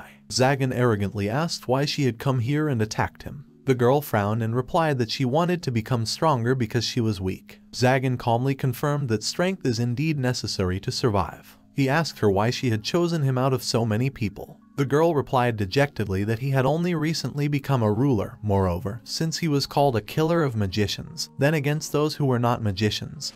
He should be weak. Zagan confirmed her words and said that he could not suppress the abilities of other races, which were not magic. Nephi looked at the magician, and he cited the example of strong claws and that of light. Zagan looked at the girl and assumed that she was a dragon. His suggestion shocked the girl. Zagan noticed that some of the dragons were still alive and added that her strength would grow with age. Zagan noticed that she was behaving very strangely, but he did not feel hostility or hatred in her behavior. The drooping girl sat silently in front of the magician. Zagan had an idea. He realized that she was behaving exactly like him when he was caught stealing bread. She found an easy target, as it seemed to her, and rushed into the attack and was almost brought to tears when she was rebuffed. This realization led him into thought. After that, Zagan hostilely stretched out his hand to the girl and said that she had come here to challenge the demon lord, and therefore would be punished. His words horrified the girl. She prepared for a harsh punishment, and Nephi was confused when she heard the magician's words. Zagan told the girl to become Nephi's assistant for one week. His decision greatly surprised the ladies present. Zagan sat down on a chair and thought about it. He realized that while she was busy, she could be told what to do and what not to do. He may not have the skills to explain the concepts of good and evil to her, but at least he will be able to explain to her the rules that a villain should follow. And even if she doesn't change her mind after that, it won't be his concern anymore. Realizing Zagan's words, the girl wanted to say something. The magician was in anticipation of her words. The girl asked uncertainly if he would eat it. Her question greatly confused Nephi and Zagan. The girl clenched her dress in fear. She added that she had heard that people could become stronger if they ate flesh or drank dragon blood. Zagan said that such legends really exist. He understood why she was hiding her identity. The magician arrogantly replied that all he would get by eating such small fry was an unpleasant taste in his mouth. Tears appeared in the girl's eyes, which confused the magician. Wearily, he put his hand to his face and said that was why he did not like children. The magician wondered what the elders from the slums would do in such a situation. He remembered his childhood. He remembered how, as a child, the children shared bread with him. He realized and asked Nephi if they had anything left from lunch. Nephi brought him a bowl of soup. The girl looked at the plate of food in front of her with disgust. Zagan said that it was charity when the strong showed compassion to the weak and asked the girl if she had heard of such a thing. His words angered the girl. Zagan frowned heavily and warned the girl that he could not stand people who did not appreciate food, especially the one that Nephi had prepared. He was ready to kill them on the spot. His words horrified the girl. She took the spoon in her hands with displeasure and put a spoonful of soup in her mouth. After tasting the soup, she was very surprised. The girl looked into the soup and said it was very tasty. Zagan replied resentfully that this soup was delicious because Nephi had made it. Nephi thanked the guest for the praise. The girl began to eat soup with great pressure. Zagan and Nephi looked at her meal in silence. When the girl finished the soup, the magician exhaled, and the elf smiled. After that, Zagan got up from his chair and headed for the exit. Walking to the door, the young man said that he would return to his archives and ordered the girl to start helping Nephi as soon as she finished eating. The girl stopped Zagan and asked if he thought she might attack Nephi or run away. Zagan replied that she could do as she pleased. He added that she should understand what awaits her if she runs away from a man who knows her secret. After these words, Zagan smiled slyly and suggested that she did not fully understand something and informed the girl that Nephi was much stronger than her. His answer greatly surprised the girl and made Nephi laugh. Zagan was walking down the corridor. He realized that they had not prepared the guest room for nothing in case Nephi's friends came. He remembered how Nephi had asked him about Mr. Barbaros and how he had told her that they would not let him go there. Remembering all this, Zagan recalled Chastel. He wondered if she was okay after the incident. Meanwhile, in the castle, a high-ranking person asks Chastel if she's sure she won't change her mind. Chastel replied that she would not be able to change her mind, because the magician Zagan had already saved her twice and she could not just turn a blind eye to it. Shin listened to the girl's reply and formally addressed Chastel. He announced that Chastel Lilquist would be permanently stripped of the title of Captain of the Holy Knights from now on. His words upset Chastel. Chastel and the three knights of the azure sky stood in front of the epicope. From that moment on, Chastel Lilquist was stripped of the title of Captain of the Holy Knights. The knights began to beg the bishop to reverse his decision. They asked His Eminence Clavel to wait and pay attention to everything that Chastel has achieved at this point in time. Chastel shouted at her subordinates. Her answer greatly surprised and upset the knights. Chastel suggested that her detachment from them was more important than the appearance of a new demon lord. This means that the church needed Zagan's murder only to demonstrate its strength. Chastel assumed that everything here was really rotten already and clenched her hand into a fist. Virgo realized that if she had continued to point her sword only where she was ordered and did not express everything openly, but acted more covertly, then everything would have been different. She remembered Zagan's words when he was saving Nephi. The girl boldly looked ahead and told herself that she would not compromise her principles. The bishop exhaled and said that this decision was not easy for him. He went down to the girl and put his hand on her shoulder. The bishop asked Chastel to be patient and assured her that he would come up with something.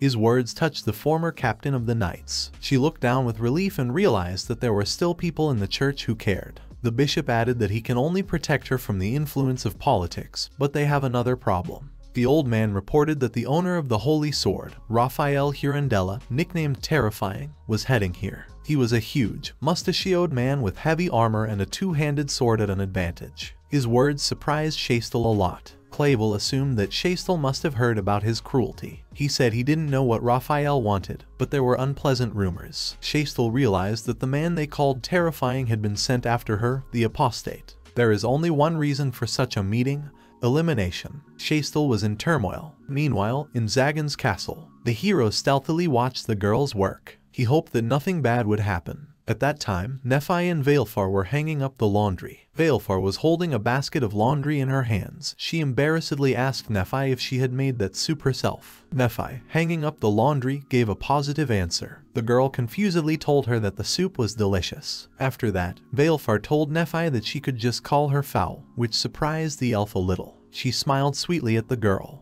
All this time, Zagan was watching and listening attentively. Nephi said she would call her foul and asked the girl if she was afraid of Mr. Zagan. Fall replied that his face did not frighten her and added that if he had a wider mouth, he could even be called handsome. Her words surprised Nephi. Fall looked down and added dejectedly that she was afraid of his strength, because she couldn't do anything against him. Nephi smiled and replied that there was nothing wrong with that, because he was not one of those who bragged about his strength. Her words surprised Zagan, who remembered how he burned those bandits and magicians to the ground. Fall asked Nephi why she was here with him. The girl continued to hang out the laundry and replied that Mr. Zagan had bought her, so she came here. After that, she noticed that she considered her a human being, not a slave. She also said she feels like this is her home. Nephi turned to Fall and asked with a smile if she had such a place. Fall looked down in frustration and gave a negative answer. Her answer surprised Nephi and made Zagan think. The young man stood behind a pillar and reminded himself once again why he does not like small fry.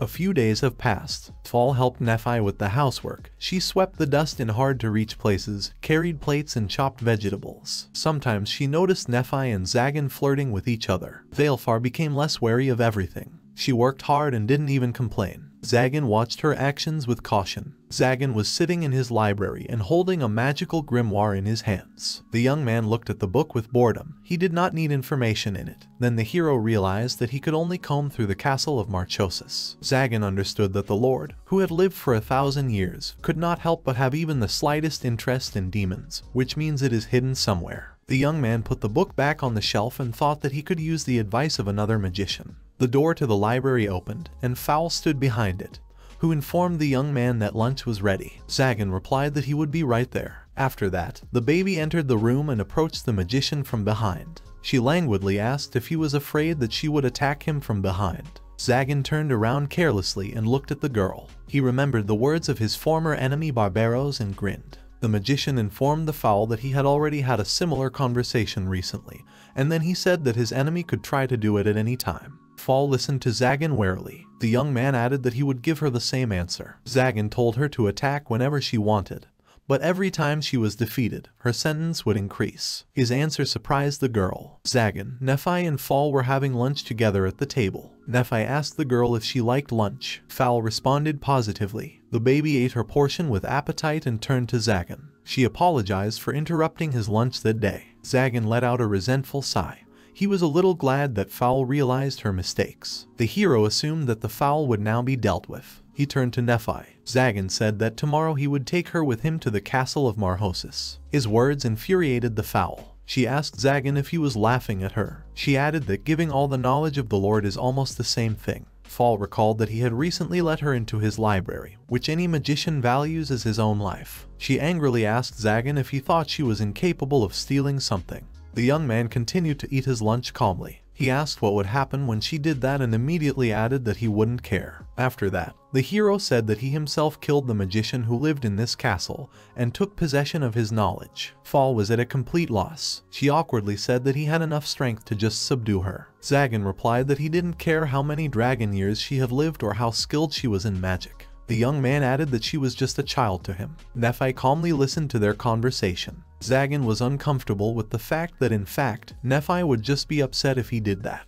There were tears in Fall's eyes. Zagan and Nephi were greatly surprised by the baby's tears. The young man jumped up from his chair and assumed that she was crying because of him. Fall paid special attention to the fact that Zagan called her a child. The magician patted Fowl on the head and asked him not to cry. Zagan began stroking the fowl's head with even greater effort. He invited them all to just eat and asked them to try the fowl dishes that Nephi had prepared, assuring her that then she would stop crying. Fall wiped away her tears and said she wasn't crying. Zagan exhaled and sat down wearily on a chair. He said that being the demon lord's henchman wasn't so bad for her. He asked fully what the purpose of her visit was, because there aren't many fools who would want to contradict him. Fall stood silently in front of Zagan.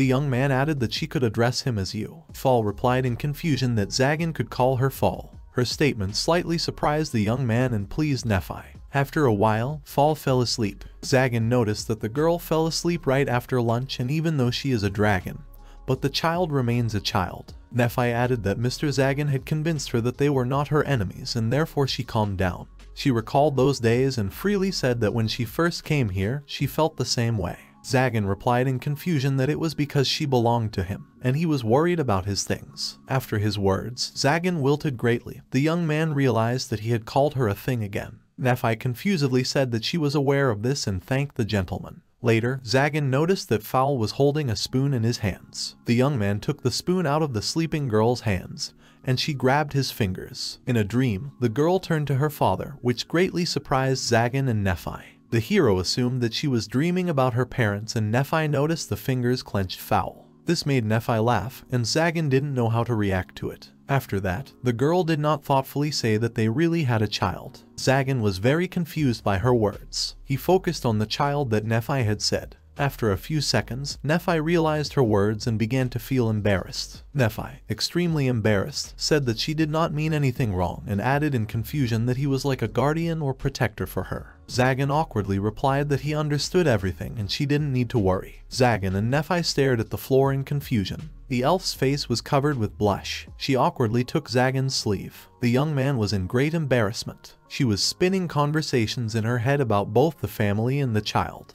He understood that a master who craves such ordinary happiness is ridiculous. After that, he took Nephi's hand. He hoped that one day they would find this happiness. Manuela was very happy about something. She was in Kyanita's studio. In front of her was a fowl in cute clothes with a hood imitating a cat's head. Manuela rushed to hug the fowl. She praised herself for the great choice of clothes and really wanted to take the fowl to her home. Zagan began to take the girl away from the winged girl, asking her to calm down and noticing that a fowl is not a thing.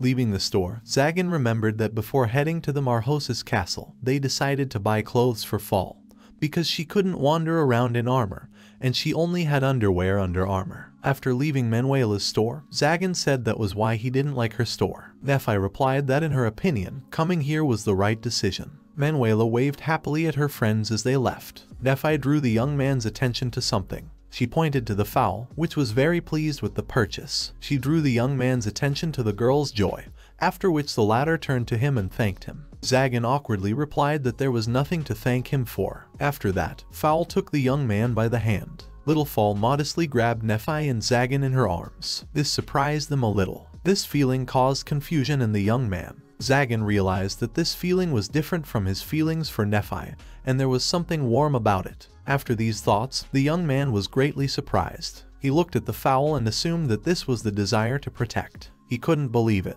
because he shouldn't have such feelings left in him. Fall looked at the young man questioningly, noticing his gaze on her. Zagan, Nephi and Fall walked down the street holding hands, which attracted the attention of local residents. Zagan knew that if Barbaros found out, he would think that he had completely lost his mind. Meanwhile, Chiselle was also outside, sighing sadly. She thought about how stupid she had been. The holy sword was taken from her as well as her armor. She realized that because of her suspension, they had to postpone the formation of a squad to eliminate the demon lord. Although even so she would hardly hear words of gratitude from Zagan. She accepted it and realized that she still wanted to help them in some way. Chastel hesitantly put her hand on her shoulder and wondered where she got such a desire. Chastel wanted them to live peacefully and become a happy family. She did not want to get between them. Chastel hoped that the guys would remember her and remember her from time to time. That would be enough for her. The girl imagined their future child, her funeral and grave. The thought brought tears to her eyes. Chastel continued walking through the city. She confidently said that Zagan would become a loving father, such as his aura. Zagan and his company were walking in front of her. The young man asked Fall if she really liked the clothes. The girl gave a positive answer. Chastel confirmed her own words and looked at her friends coming to meet her. Zagan, Nephi, Fowl, and Chastel crossed paths. Chastel was greatly surprised by their appearance. Zagan drew attention to the former captain of the Knights.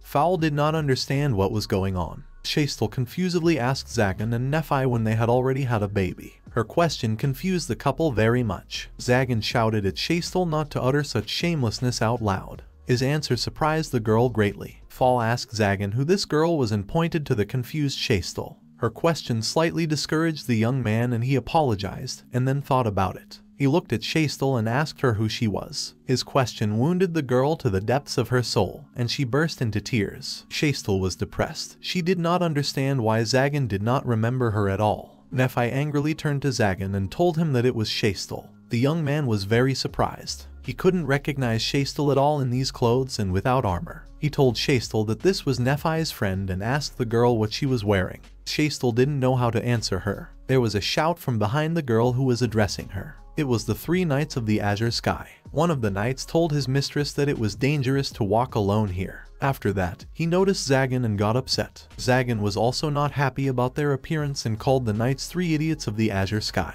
The three warriors corrected Zagan and asked confusedly what Zagan wanted to do with Mrs. Chastel. Their question discouraged the young man. Fowl glared at the warriors, which Zagan quickly managed to pay attention to. The young man noticed how the girl prepared for battle and used her skill. He ordered her to stop. Fall looked at him angrily. She asked the young man why she shouldn't attack the offenders. Zagan replied that there were a lot of Nephi's acquaintances here and there would be unnecessary sacrifices. His words calmed the girl a little. The knights took their mistress away from the Zagan and asked her to be careful in the future. Chastel resisted the warriors' actions. Zagan and the company silently watched them go. Nephi asked anxiously if Chastel was going to be okay. Zagan replied that he had no idea, but it seems that she has plenty of fans, which means she has someone to rely on. Zagan understood that by contacting a magician, she would only harm herself. The hero turned his attention to the fowl and asked her what was wrong with the knights. Fall glared at the young man and asked what was strange about the magician's dislike of holy knights. Zagan replied that it was quite normal. The company of the magician and Chastel dispersed. Zagan hoped that this would not lead to problems in the future. After a while, they found themselves in front of the castle. The view of the fortress delighted the fowl. She was surprised that such a huge thing was underground. Zagan replied that this fortress used to be above it, but then,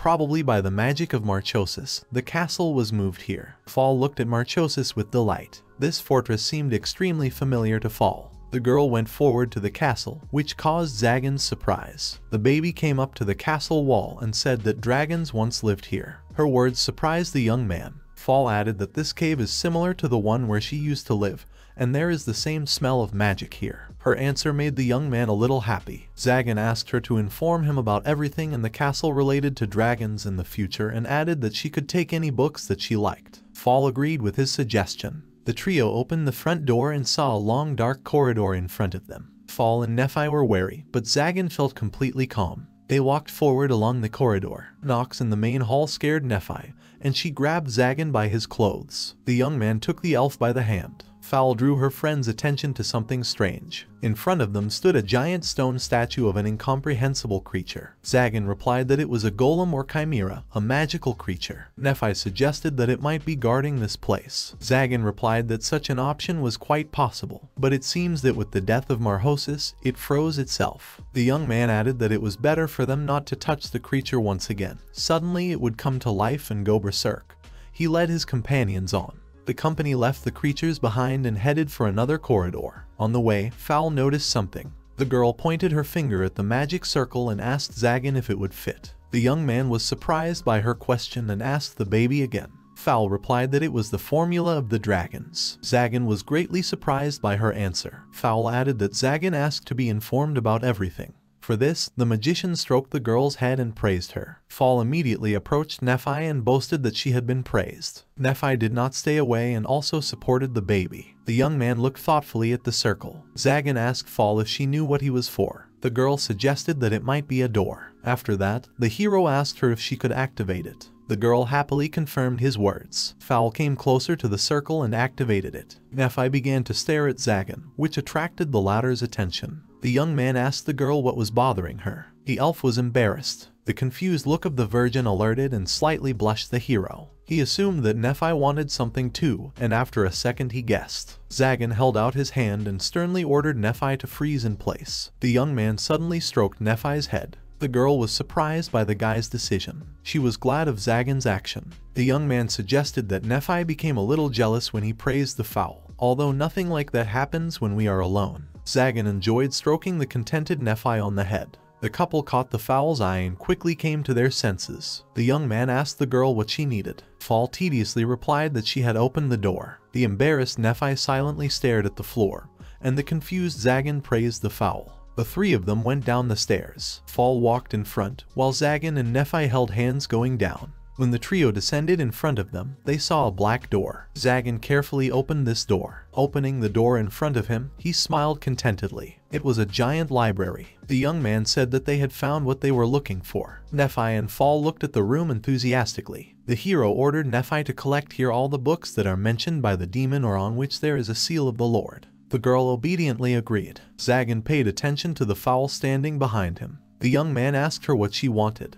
Fall asked if he could read minds. Zagan asked why she had made such a conclusion. Fall remembered how Zagan stroked Nephi's head and said that he knew about Nephi's desire, even though she did not tell him anything. Zagan calmly replied that Nephi always knows what he wants. The young man added that if he could not guess even to such a small thing, he would be ashamed. Fall replied that she was even a little jealous because of this. Zagan noticed that the fowl spoke as if it were not about her. Fall was surprised by what the young man said. He added that he did not know exactly how long dragons lived, but Marchosias had lived for more than a thousand years. Zagan said that in a thousand years she would learn to understand everything without words. Fall looked at the guy in surprise. The girl set aside a period of a thousand years and asked if Zagan would always be with her. The young man calmly replied that if she wanted to go somewhere, he would not stop her. Fall abruptly grabbed the hero's arm and clung to him. She said she didn't want to go anywhere. Zagan noticed that he wasn't very good at it himself. Fall noticed a book on the shelf opposite her. She took out the book The Twelve Holy Swords. The title of the book attracted the young man's attention. Zagan snatched the book out of the girl's hands, which the latter was very unhappy with. What he saw in the book amazed Zagan. His guesses were confirmed.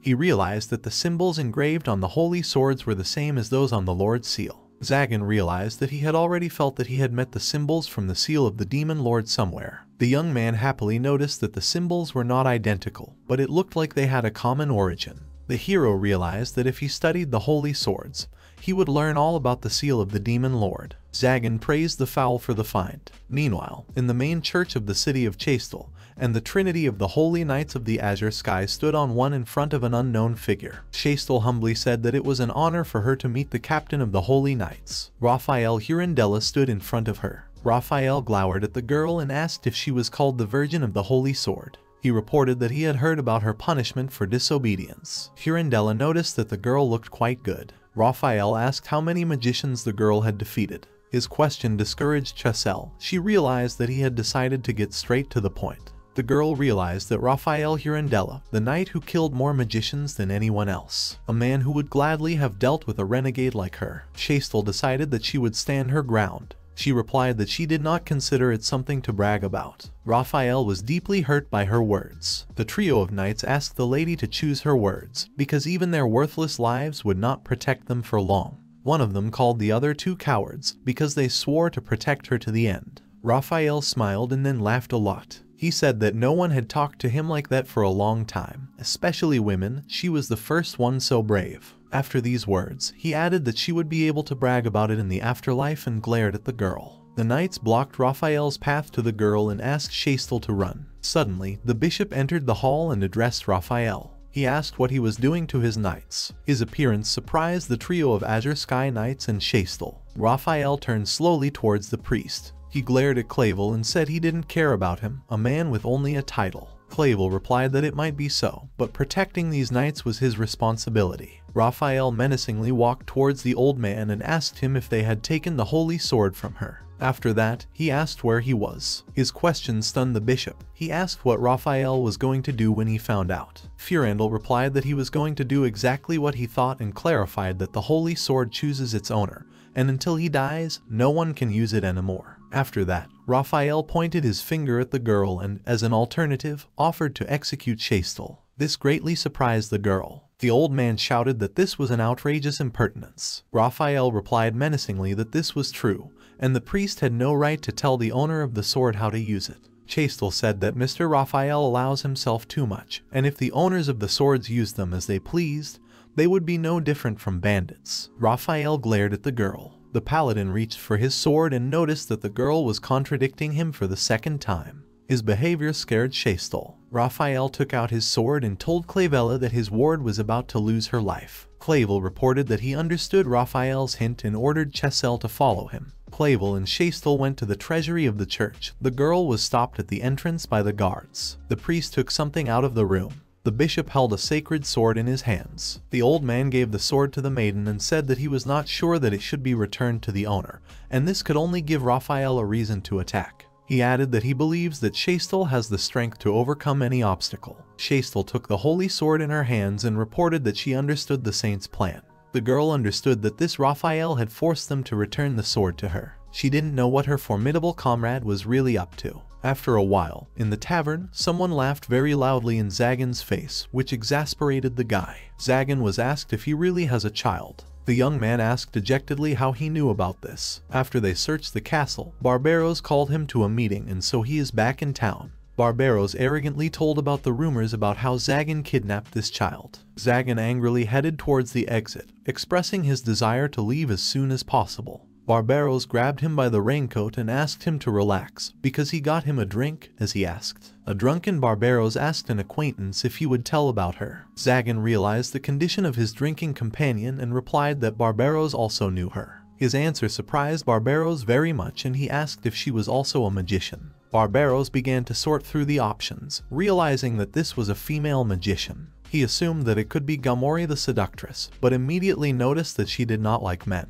Zagan was calmly drinking his drink. He believed that if Barbaros did not understand, then the others should not guess that Fowl is Valefor, and she is a dragon. By this point, Barbaros had already figured it out. Barbaros said it was Valefor, which surprised Zagan very much. Barbaros added that he was saying this to the fact that Valefor had recently attacked him. He asked what had become of him. Barbaros added that he was probably alive if he was lucky. The magician assumed that Zagan had expelled him as well. After that, Barbaros said that there was a rumor that he was actually a dragon and even his corpse could be used for excellent ingredients. Zagan silently looked at his interlocutor while drinking a drink.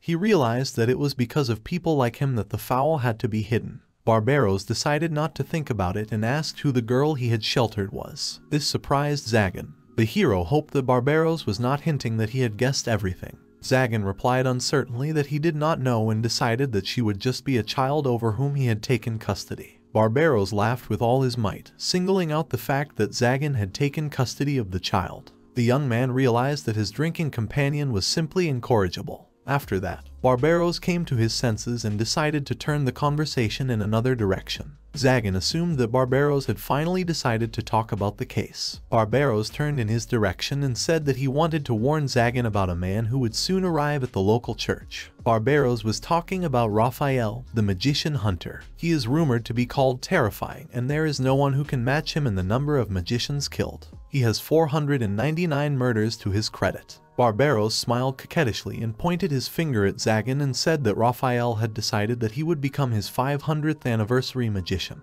Zagan replied that it was some kind of ridiculous story. He asked if the owner of the sword could kill so many magicians alone. Barbaros replied that he had no idea. Barbaros added that there is a rumor that Raphael killed and ate a dragon. This greatly surprised Zagan. Zagan remembered Fall's words about the Holy Knights. The hero clenched his hand into a fist. Barbaros added that the church does not approve of dragon hunting, so it cannot be verified. Zagan replied that Barbaros was unusually talkative today. Barbaros replied that he had come to apologize and brought him the promised tribute. He hugged Zagan and added that it was better for him to live in peace with Zagan than to be on knives. Zagan dejectedly said that Barbaros is very slippery and does not have a drop of dignity. Barbaros poured booze into Zagan's glass and said that he was quite capable and he could benefit from it. Zagan replied that if Barbaros were really like that, he would even believe him. After that, Zagan asked what he wanted. Barbaros smiled broadly and asked for access to the legacy of Marchosias, adding that Zagan manages it alone. Zagan gave a sharp negative answer and looked suspiciously at his interlocutor. Zagan asked why he should give him access to Marchosias, because he would hide from him everything that he considered useful.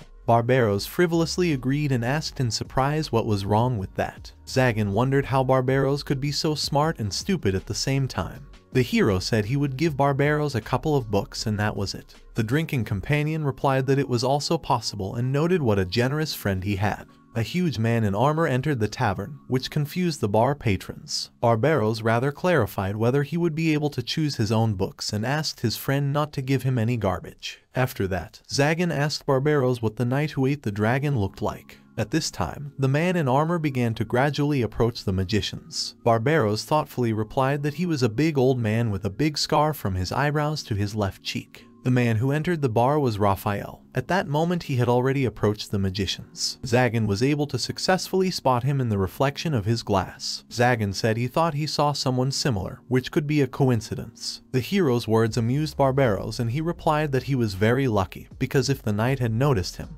he would have definitely stabbed him. Zagan hesitantly agreed with his words, after which a loud deep step sounded behind the magicians. Raphael was standing behind the magicians. Barbaros was greatly surprised by his appearance, unlike the calm Zagan. Barbaros got up from behind the counter in horror when he saw Raphael Hirandel. He asked the knight what he had forgotten in such a place. Zagan was calmly drinking his drink. Raphael was beside himself with joy. A maniac's smile was visible on his face. The expression on Raphael's face horrified Barbaros and the waitress behind him. Zagan calmly watched the knight. Barbaros screamed, preparing to strike. The tavern patrons were terrified, and the waitress behind the counter fell to the floor in horror. Barbaros conjured a magic circle and prepared to strike the enemy with magic. Raphael was glad of the impending battle and reached for his sword with a terrifying grin on his face. No sooner had the opponents clashed in a fight than Zagan calmly ordered the magician to stop and erase the magic of Barbaros, which led the latter to the highest degree of surprise. Barbaros was unhappy that Zagan had absorbed his magic. Zagan told Raphael that the place was not occupied and invited him to sit down with them. Raphael smiled and suggested that the new ruler was a sane person.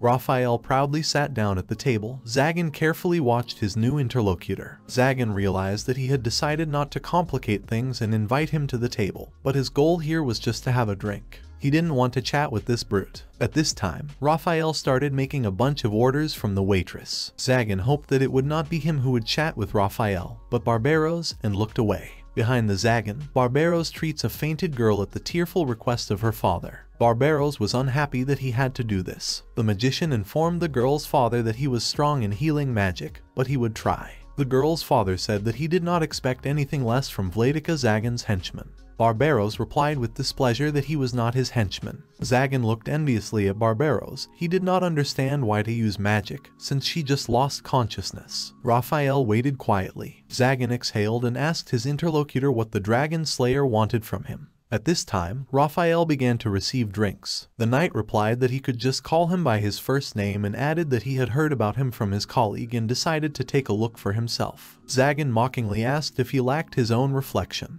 Raphael arrogantly replied that these words were said by a man whose evil grin is even rumored. Barbaros finished the girl's treatment, for which her father tearfully thanked the magician. Barbaros looked at the seated Raphael. Zagan said that he had heard about Raphael's hobby of killing magicians and asked what he would do since there were several of them here. Barbaros stood at the front door, thinking. The magician closed the door and slowly walked over to the table. Raphael and Zagan followed him with their eyes. Raphael replied that this was nonsense and he preferred prevention to treatment. Zagan relaxed, but Barbaros was still wary. The hero introduced Raphael to others. Raphael said that he had heard about the magician's battle with Chastel and asked him if she was a worthy opponent. Zagan replied that she was the strongest he had ever fought. After hearing Zagan's reply, Raphael summed up that she would be a threat to the church. Zagan didn't understand what he was talking about. Raphael said that she openly opposed the murder of the demon lord, and that was enough for the church to order her execution. His words surprised Zagan. He realized that she needed to do as the situation dictated but she was being unnecessarily honest again. Zagan dejectedly leaned against the table and said that Chastel is extremely careless. He understands that such Leoli do not live long. Raphael agreed with his words. Raphael got up from the table and said that he had no more business with Zagan. The young man understood what he was trying to achieve. It immediately seemed strange to him that he did not show any aggression. This meant that he needed proof to kill Chastel. Zagan stopped Raphael at the exit. He said that she was loved in this city and some seemed to grieve for her. Zagan seriously stated that this was all his domain and if Raphael did something, he would wipe it off the face of the earth. Raphael arrogantly reminded that Zagan is the lord of demons. Zagan replied that that was why it hurt his pride. Raphael smiled and laughed out loud. The knight said that the magician is exactly what he imagined him to be. He added that Zagan is the evil that infuriates the church. The door is closed. The visitors looked nervously at the departed Raphael. Barbaros and Zagan stared at the doors in silence. Zagan told Barbaros that he didn't like Raphael, to which he replied that it was natural for a magician. Barbaros invited his friend to catch up and kill him. Zagan said that it was possible to do just that. He told Barbaros to get down to business. The drinking companion grabbed Zagan by the cloak and was outraged that he wanted to send him to the slaughter. Barbaros angrily asked what Zagan wanted. Zagan jokingly replied that he wanted him to die soon and asked Barbaros to keep an eye on Chastel. His words brought Barbaros back to normal. Barbaros asked why he was the one. Zagan asked if he didn't care. Barbaros bears the title Purgatory in Legends. This is the name of the place between heaven and hell. He is able to move freely through such a dimension. Zagan understood that this was teleportation and summoning, Barbaros' hobby. He could move to someone else's shadow only once he saw it. In direct comparison of strength, he was superior to Zagan. Barbaros asked if Zagan had decided to save the Holy Knight. Zagan replied that he would repay Barbaros later and hurried him on. Barbaros began to teleport and said that the hero would definitely regret it. When Barbaros left, Zagan realized that he had not paid for himself. Zagan may have invited him, but he also can't. After a while, Zagan returned home, where he was met by Nephi. The magician was surprised that the girl was still awake. Nephi reported that Fowl insisted that they wait while cleaning. Zagan noticed that Fall herself had fallen asleep in the meantime. Nephi reported that Fowl had told her that Zagan would be with her even after a thousand years, and she was glad to hear it. The young man stroked the fowl on the head. He realized that there were dragons in the legends who lived for tens of thousands of years. It's probably not easy for them to find someone who will be with them all their lives, and therefore it's terrible for a little dragon to lose his parents. Nephi sadly said that she would also like them to always be together. Zagan did not understand what she was talking about, because he would be next to her. His words pleased the girl. Zagan quickly became close to Virgo, their gazes crossed. The young man realized that she had very long eyelashes and that she had recently taken a bath because her hair was wet and she smelled of soap. Nephi looked at the hero in surprise. Zagan put his hand on the girl's face and their lips began to gradually come closer. After that, the Barbaros portal suddenly opened in the room, from which the magician shouted that they were having problems. The couple awkwardly moved away from each other. Barbaros is angry that Zagan did not answer him. Zagan angrily stood in front of Barbaros and ordered him to come over to make mincemeat out of him. Barbaros didn't understand what he was angry about. The magician recalled with displeasure that Zagan himself had asked him to look after Chastel. He was holding the girl in his arms. This greatly surprised the young man and Nephi. They were discouraged by Chastel's condition. Barbaros said she was poisoned and the poison was most likely mixed into the drink. Zagan said he would get treatment as soon as possible and asked Nephi to help him. A fowl woke up due to an extraneous noise. The magician apologized and asked her to go back to sleep. Fowl noticed the holy sword of Chastel. She realized that Chastel was a holy knight. She activated her ability and rushed at the girl in anger. This greatly surprised Barbaros, who was holding her in his arms. Zagan stopped a foul shot. The girl was unhappy that he stopped her again. The magician replied that Chastel was his guest and she should not kill her just like that. Barbaros began to treat Chastel. The girl stood in anger. Zagan asked her how much she hated the Holy Knights. She replied that Zagan himself knows that she became a magician to take revenge on the Holy Knights. After all, the owner of this sword killed her father. Zagan said he understood the girl's feelings and assumed it wasn't her. He added that by killing her, she would not harm her opponents, but would simply create new ones who would take the path of revenge. Fowl angrily replied that this was a beginner's mistake and he couldn't know anything about it. Zagan stretched out his hand to the girl and said that this was not revenge. He added that revenge is when you make them suffer, when you drive them into such depths of despair and horror that they themselves beg you for death. His moralizing surprised Nephi and Fall. Zagan added that only then, Having enjoyed enough, she would kill them. Only killing would not be able to satisfy her. Fall asked uncertainly if Zagan had taken revenge on anyone. He answered positively, remembering about Andras and told the girl that he had failed. The young man added that therefore he would teach her how to take revenge correctly and she was lucky, because there are a lot of torture instruments here. After these words, the girls were even more surprised. Zagan came to his senses. Barbaros, who was holding Chastel in his arms, stood up and asked if it was okay to tell this to his adopted daughter. Chastel opened her eyes and was tired. She sat up in bed and touched herself. Zagan was reading a book and said casually that she had finally woken up. The girl jumped up on the bed when she saw the guy. He said to thank Nephi afterwards, because she was the one who dealt with the poison. Chastel asked again, and he asked her, didn't she remember? The girl understood everything. She received an invitation letter from an anonymous person. The girl asked in surprise, the Unity faction. The man in the raincoat said that the task of the churches should be to contain the magicians, not to destroy them. The members of their group believed in it. The man offered to join them, because now that she had gone against the will of the church, she did not need protection. The girl thought that if he wanted to help her, then maybe it was a subordinate of Clavel. The unknown person said that it was not necessary to decide right now, but she should not delay with the answer. Also, as proof of their sincerity, she can say it in an hour of Nito Robas. The girl asked if that was his name. The man said that she might think so, but at the same time she didn't. For her, it was more like the name of the one who leads them. It will protect her in any situation, the man is gone, and the girl is left alone. She didn't know if she should have believed him. If she wants to survive, then her choice is meager, especially considering that Raphael was nearby. And yet, she had hardly known life other than chivalry, and now she had lost her home. She had nowhere to go back to. Even if she survived, she didn't know what to do next. The girl was drinking tea sitting at the table and suddenly she felt wrong and dropped the mug. Chastel went on to say that she returned to the church, drank tea, and then collapsed. Zagan asked if she had any idea who might have poisoned her. She didn't even have a thought. She might have thought it was Mr. Raphael. The guy continued her words. This old man looked more like a fan of swinging a sword than trying to poison. The girl asked in surprise if he had met Mr. Raphael. He was preventing her from enjoying her vacation. The guy said that since she was Nephi's friend, they would help her, at least until she recovers. The girl asked in surprise. She tried to stop Zagan by grabbing his cloak. He wondered what she needed.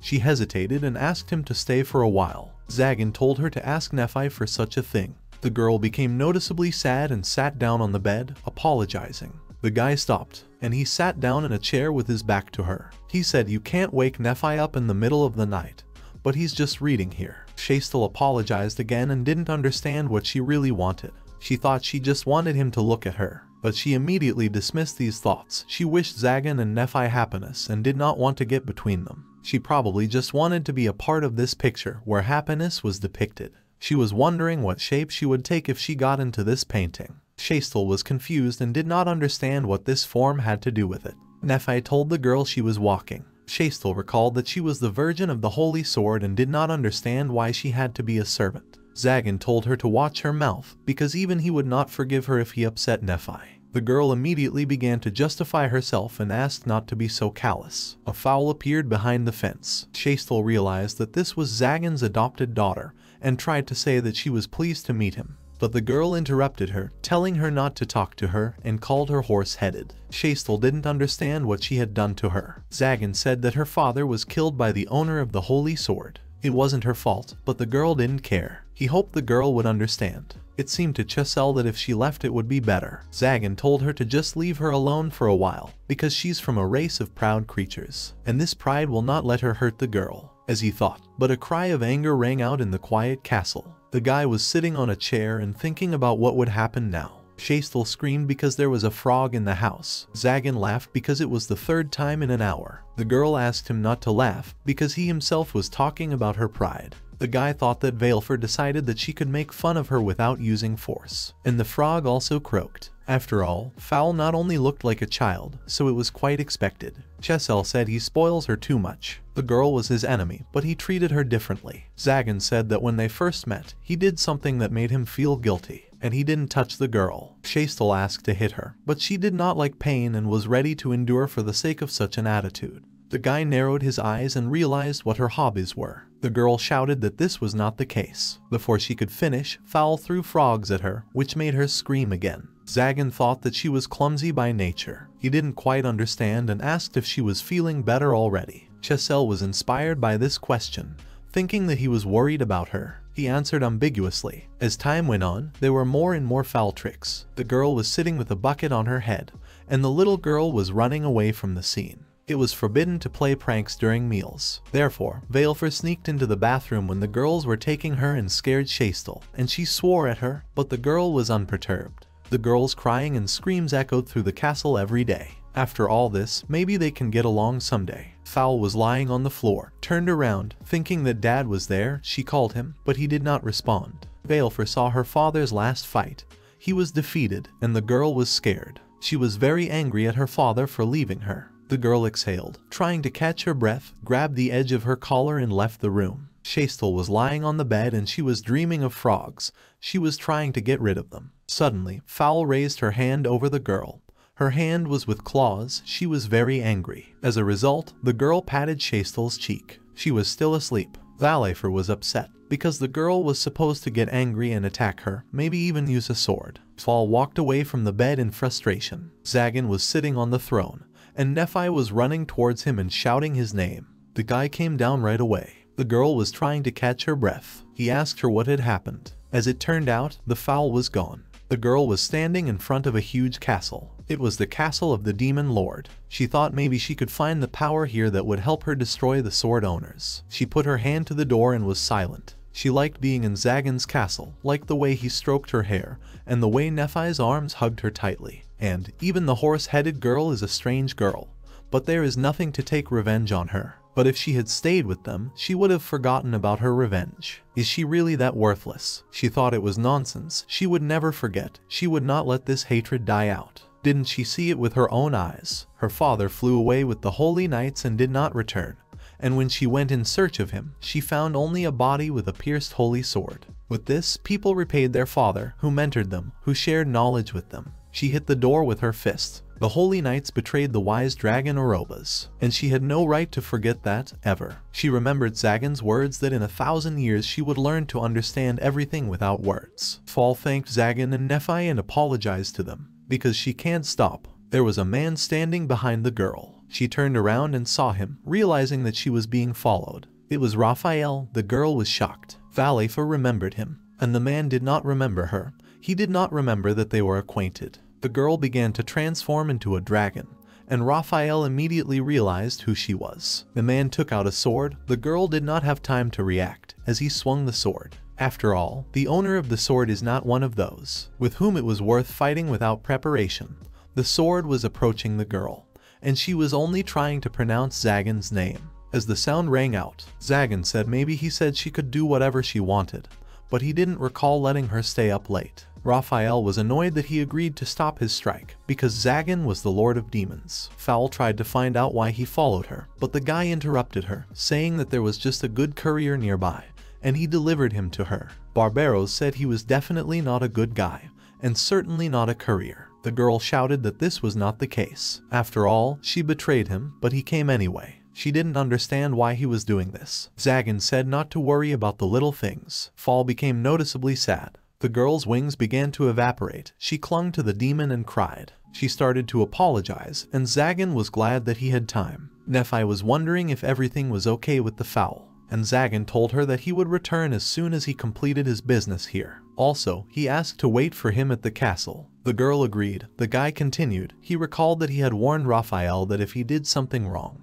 he would wipe him off the face of the earth. The man was surprised because the front one was a Mac who was protecting someone other than himself. Zagan replied to him that it was someone, but his daughter. Raphael was shocked and repeated the guy's words. He picked up the sword again, saying it was a pretty good reason. The guy confirmed and warned that he would disappear if he did not fight at full strength. Raphael didn't really want to do it, but he had to. After all, he definitely does not intend to disappear here. He began to address the holy ball to Metatron and asked him to hear his call. Zagan was surprised that Raphael used a pale white flame. His magic circle began to disappear. The guy was surprised that the circle was erased. It was a purifying flame and it is said that it burns out all evil and that the previous lords were defeated by it. This power was only available to the true owner of the sword. Barbaros was a little scared and turned to the guy, while he wondered why it was necessary to incite him. After all, he promised to teach him how to take revenge properly. It was necessary to crush the enemy at the peak of his strength. It was one of the ways to drive him into the depths of despair. Zagan followed his advice and ran closer to the enemy. His magic circle had almost disappeared,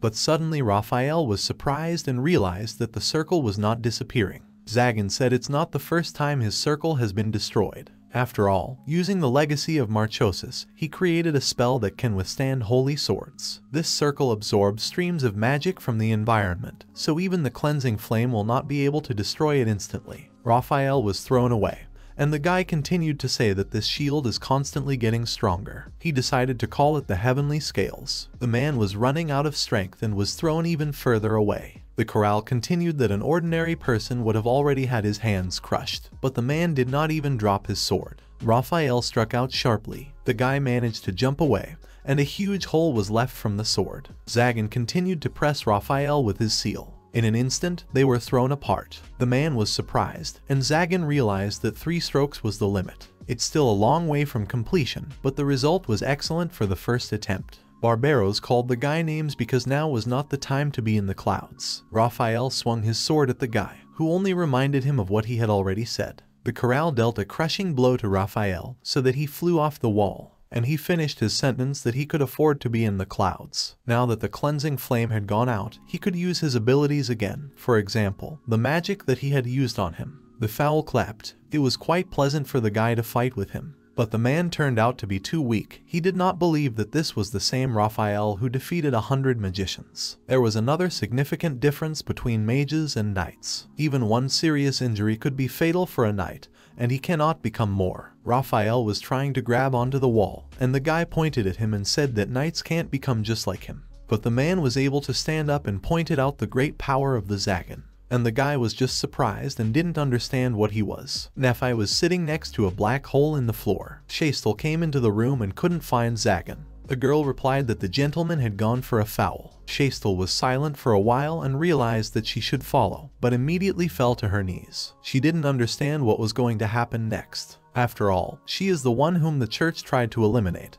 and she lived under the protection of a magician whom they hate. Everything was going too well, but she didn't understand why she needed this sword. Nephi asked if everything was okay with Chastel, and the girl replied that she would go to Nephi with her. And the girl replied that Mr. Zagan had asked her to wait here. Chastel didn't know if this was the right time to say such a thing, but she was a little jealous of Nephi. After all, she loves and is loved. Therefore, she is jealous that they have such a relationship. Nephi, in turn, envied her on the contrary, which surprised the girl very much. Chastel didn't understand what there was to be envious of, and the girl replied that she envied her because she could be with him, even at such a moment. Chastel was shocked by her words and said that she should not listen to his order and run after him. But Nephi couldn't do that. After all, she should be here when he returns to say welcome home, Zagan. She can't be with him right now, and she can't comfort him, she can't be his support. She hugged Chastel, which surprised her and made her cry. But she had no right to do that. After all, if anyone can cure his loneliness, it's her. After all, she is a holy knight. The girl raised her head and agreed. Chastel went on to say that it was all because she refused to fight. Nephi confirmed it again.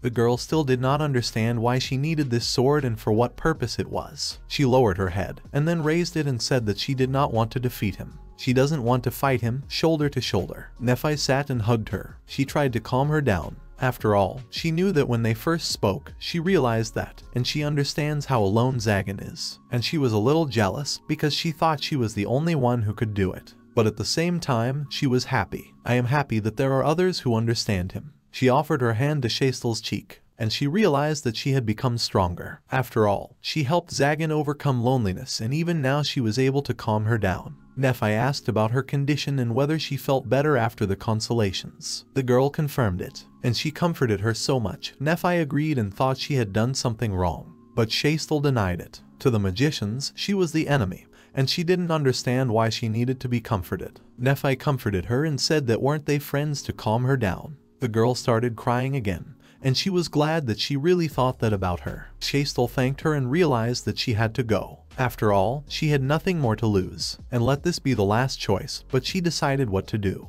and she won't hesitate anymore. Nephi smiled happily and told her to be careful. Chastel immediately jumped into the black hole, fully prepared for battle. Zagan and Raphael stood in front of each other. The man was serious and had a wound on his stomach from which smoke was coming. The blow was fatal, but he is still on his feet. The guy realized that he had indeed acquired regeneration from the dragon. Zagan addressed the fowl, saying that he would not disappear just like that. In the meantime, she could come up with a punishment for him. The girl enthusiastically agreed and was glad about it. Raphael realized that he was definitely not liked here. The girl became serious, and she looked at him with the same look. She reminded him that the dragon he had destroyed was called Orobas the Wise. The man immediately became confused and realized that she was the child of Orobas and then he would have to destroy her. Zagan told him he wouldn't let him do it and immediately slammed him into the floor. Well, the man also jumped to his feet and jumped over the fence, so everyone was surprised. The guy immediately realized that he was not in front of him. Foul summoned the magic circle and told him not to underestimate her. Zagan immediately shouted for her to stop, but Foul had already launched an attack. She sent a magic circle towards Raphael,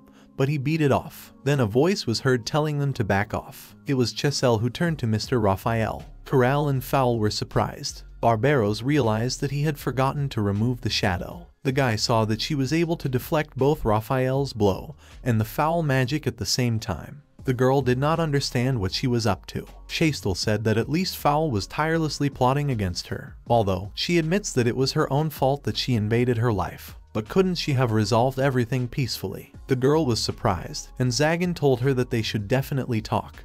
But first they had to deal with Raphael. He didn't understand what he wanted to achieve. He will not take pleasure in destroying someone who is literally begging for it. The girls were even more surprised. Foul was wondering what he was talking about. The guy replied that he had figured it out himself, that's why he asked. His thirst for blood disappeared in an instant when he heard the name Orobas. Chastel immediately grabbed his cloak, sitting on her knees, and asked him to stop. She could only complicate things, she just needed to be quiet for a bit. And she meant something else. She said it was hard to believe, but it was him. He was the man in the raincoat who called himself Orobas. The guy was very surprised. He didn't understand what she was talking about. Strange sounds were coming from the door. Chastel turned to the guy, but he interrupted her because he knew what was going on. Something was coming. A stone monster appeared at their door and let out a very loud scream. Zagan realized that it was the aura of a demon. He denied it because he didn't feel the same horror as before, which means this golem was created in their likeness. It was the guardian of this castle, his seals broken by the presence of holy swords. Raphael didn't understand who it was. A mouth began to appear from the golem's head, which abruptly missed. He started growling again, and Zagan said that he was thirsty for blood and they needed to run. A light appeared from the golem's head, under which the fowl fell. Zagan noticed this and started shouting in her direction. Horror appeared on the guy's face. The smoke from the light began to disperse. Barbaros and Chastel didn't understand what was going on either, and the light absorbed the fowl. As it turned out, Raphael covered the little girl with his body and it was very painful for him. Zagan was gloomy. There was a stone statue behind him. He turned around and told her who she thought she was. The guy immediately used a magic circle and said he would grind her to powder. He summoned the celestial scales, which cut the golem in half. Immediately, Zagan ran to his daughter, fearing that something had happened. Fall replied that she was fine, but Raphael's wound was too close to his heart, and even with the dragon's regeneration, he could disappear. Raphael became sad and said that she told him that he had killed Orobas. The foul was confirmed. The man said that she was wrong because the great dragon was not weak enough to be hit by his hand. The girl thought that he was lying because she saw everything herself and caught them off guard. He was eating it. The man decided to say again that Orobasa was not one of those who could be defeated by the betrayal of a common man.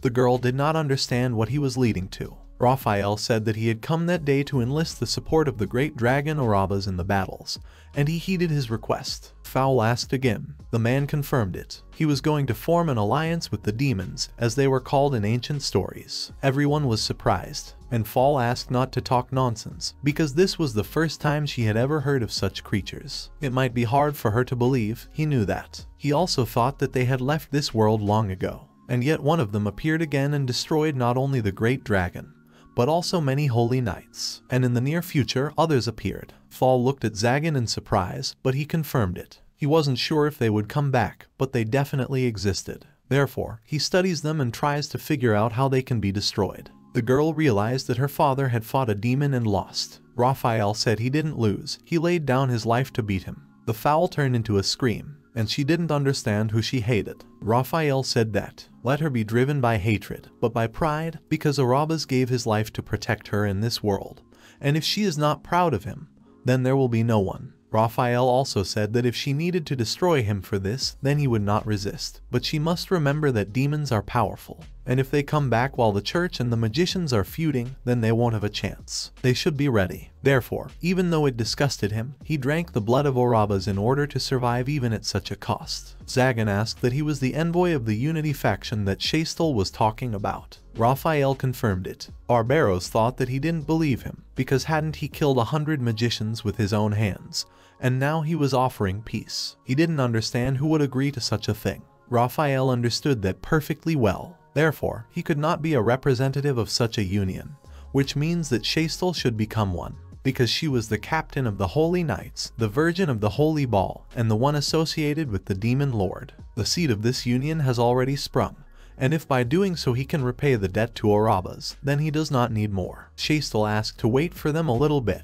because it was difficult for her to digest it. Suddenly there was a sound from the side. Chastel and Zagan were surprised. It was the stone golem that began to resurrect. The guy realized how many immortals scurry around this world. He'll deal with them again. Chastel asked if he could destroy it, and he replied that he was not an expert on golems, but if it was created by magic, then he can certainly destroy it. But Raphael said it wasn't just a golem, and he was created by magic, weaving a golem with another creature with the ability to recover. Zagan guessed who it was, and Raphael immediately confirmed it. It was a chimera of a demon created by Marchosias. The guy realized that it would not be possible to simply destroy it. It was a stroke of luck. He couldn't believe that he would have to test another new trick. This chimera, he was sure, had been assembled from the remains of the demon that Raphael and Orobas had destroyed. This creature was insignificant compared to a real demon, and yet it possessed demonic power. Zagan cursed Marchosias because he had created an unpleasant creature. Well, that was all the better, because he just wanted to experience something. He would deal with her himself and told them all to stay away.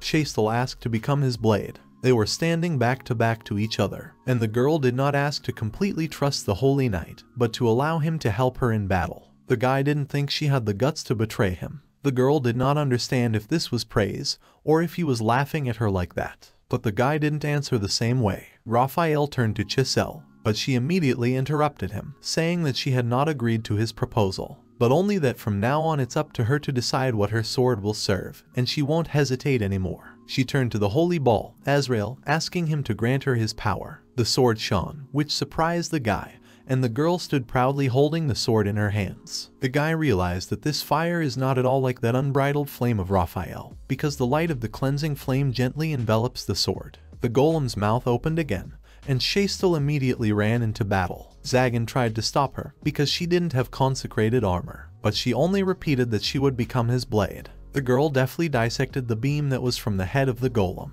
Everyone was surprised that the beam was diverging. The girl said that now it was his turn. Zagan smiled smugly, and I thought she was overconfident, but I ran ahead. The guy was next to the golem and swung to strike, but the golem opened his hand, so the guy was embarrassed. Black smoke began to surround the guy. Rocks were flying everywhere in different directions. He realized that the black smoke was the true form of this creature. Even if his stone body was destroyed, he would be able to reassemble. The girl shouted at him not to delay and immediately rushed into battle. The guy was surprised at how she crumbled the stones. Small pebbles were falling from the sky. He laughed and realized that if she had used it at their first meeting, he would have already disappeared. The guy immediately summoned a magic circle, and he told him to turn to ashes, and he also called for the heavenly flame. Zagan put a magic circle to his heart, but it didn't work. Chastel noticed this and realized that he had failed. The guy also confirmed it. The guy's fist remained unharmed and the golem took the form of black smoke. He said that he was already finished and the golem had crumbled into pieces. The girl did not understand what it was. Zagan only said that she had seen his heavenly scales spell. The sigil chooses the surrounding mana and serves as a shield infinitely strengthening itself, but he just used this mana in a different way. The girl asked in surprise. He made it so that by absorbing mana, it did not go to strengthen the sigil, but burned the chimera from the inside. Burning mana gives the flame a black color. The heavenly scales and the heavenly flame are two opposites born from the same idea. Magic against holy balls, magic against demons. But these abilities were still unreliable. He needed to work on efficiency, otherwise they would be useless against real demons. The girl noticed that he was indeed a terrifying magician. But Zagan praised the girl, saying that she did a good job too. Chastel was very surprised by his words, and he did not understand the reason for her surprise. The girl explained her surprise that he called her by her first name for the first time. The guy apologized. The girl was surprised again because he apologized. But he only said that she was Nephi's friend, and at least for that reason it was necessary to show her respect. The girl got a little angry. She had not come here for the sake of Nephi, but because she wanted to fight alongside him. The guy realized that she meant that the magician and the holy knight are together. The girl confirmed it. They looked at each other with a smile. Fowl called Zagan. She was sitting next to Raphael's body, and he said that he had seen the fastest blade in action in the hands of the holy knight. Zagan asked him to speak less because he did not know how to use healing magic. He turned to the girl, saying that she could claim the opposite, but she was acting exactly as befits a representative of this union. His supporters will definitely give her the necessary support. Chastel realized that he had called himself Orobas out of fear that no one would trust him. The man confirmed it, and even before his disappearance, Orobas wished that he would survive and do everything possible for this union to be born. Therefore, his name is worthy to lead them. Zagan wondered why he had destroyed so many magicians. He had some kind of score to settle with them. But Raphael only said that he destroyed them because he wanted to. For some reason they attacked him themselves. Everyone was very surprised. He didn't know why, because he was trying to behave as delicately as possible. He even smiled, trying to show that he came in peace.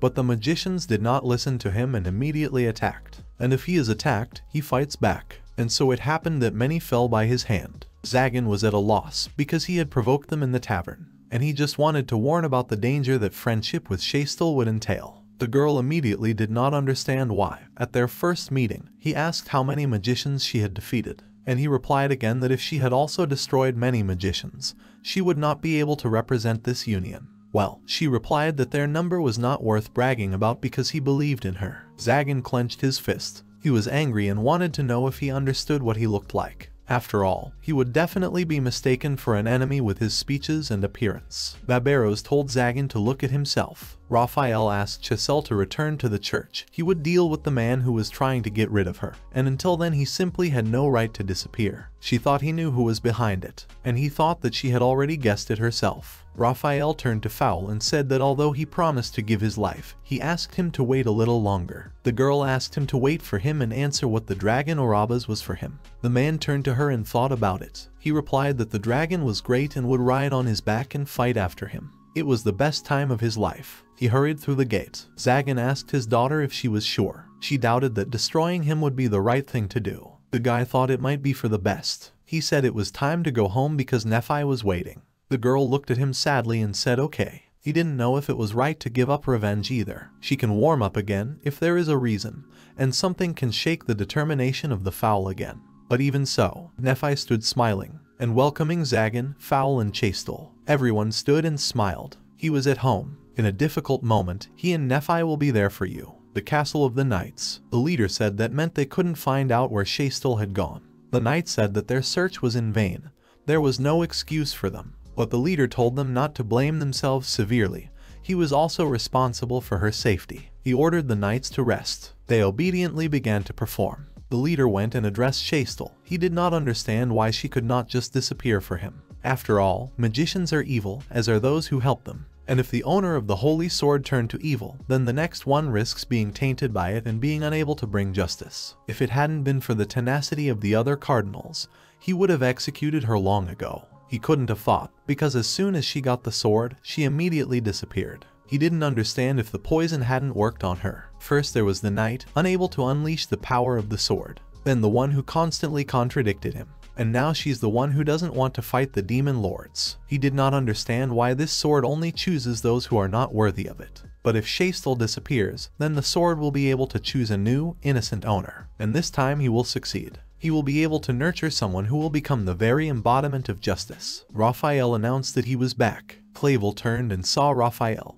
He also saw the wound and did not understand what had happened to him. The man said that there was no need to worry about her, he came to complete something. The cardinal thought he needed help, but it was luck for him. He didn't know what happened to him, but he is also struck by evil. He didn't fully understand what he was trying to achieve, but in any case, his disappearance would only strengthen his influence in the church. The cardinal was still trying to offer help. Raphael swung his sword, and the cardinal lost his arm. He said that, unfortunately, he had no desire to apply compresses of poison. The cardinal screamed loudly and fell on his back. The knight told him not to make so much noise. It was the first time he had decided to destroy someone himself, so he was a little nervous. They were already old men, and they should not have interfered with the younger generation, much less tried to cut them down starting at the root. The cardinal shouted for help and did not understand where everyone had gone, because the knights had just been here. He did not understand why he, the messenger of God, was threatened by someone who was tainted with evil.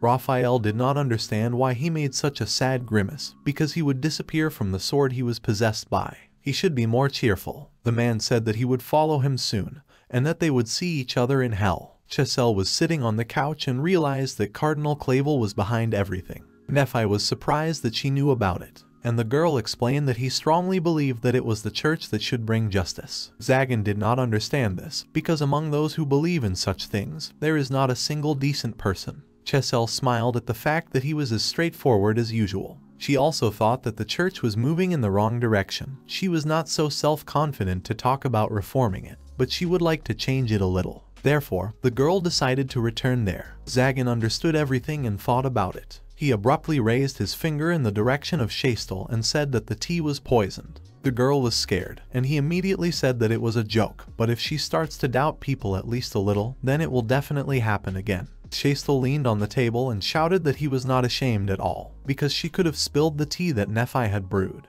and Zagan said that she did not cook it. Fall was sitting behind the sofa smiling. The girl noticed her and was a little embarrassed. She decided to approach her. She was sorry that they never had a chance to have a quiet chat. The girl pulled Valefor to her head, but she moved away. Chastel smiled and said goodbye to everyone. To her surprise, Fowl told her to come back. The girl turned around in tears because she called her by name for the first time. Fall only noticed that she was crying again. Although she did not stay long, Chastel thanked them for everything. She did not know what would come out of the idea with the Unity faction, but she would do her best to make life easier for all of them. She was sure that Raphael would have wanted it too. The man said it was an excellent speech and put his hand on Chastel's shoulder. After all, she has gathered her will into a fist, but if something bothers her, she must certainly apply. The girl enthusiastically agreed and turned to him in surprise. She screamed in fear. Zagan only asked Raphael if he could get up. The man confirmed it because he was under the protection of Orobas, and with her in the elven charms, this wound is nothing, but it won't grow a hand, of course. Chastel screamed in surprise against the background. She did not understand why they were chatting as if nothing had happened. Zagan did not understand what had happened.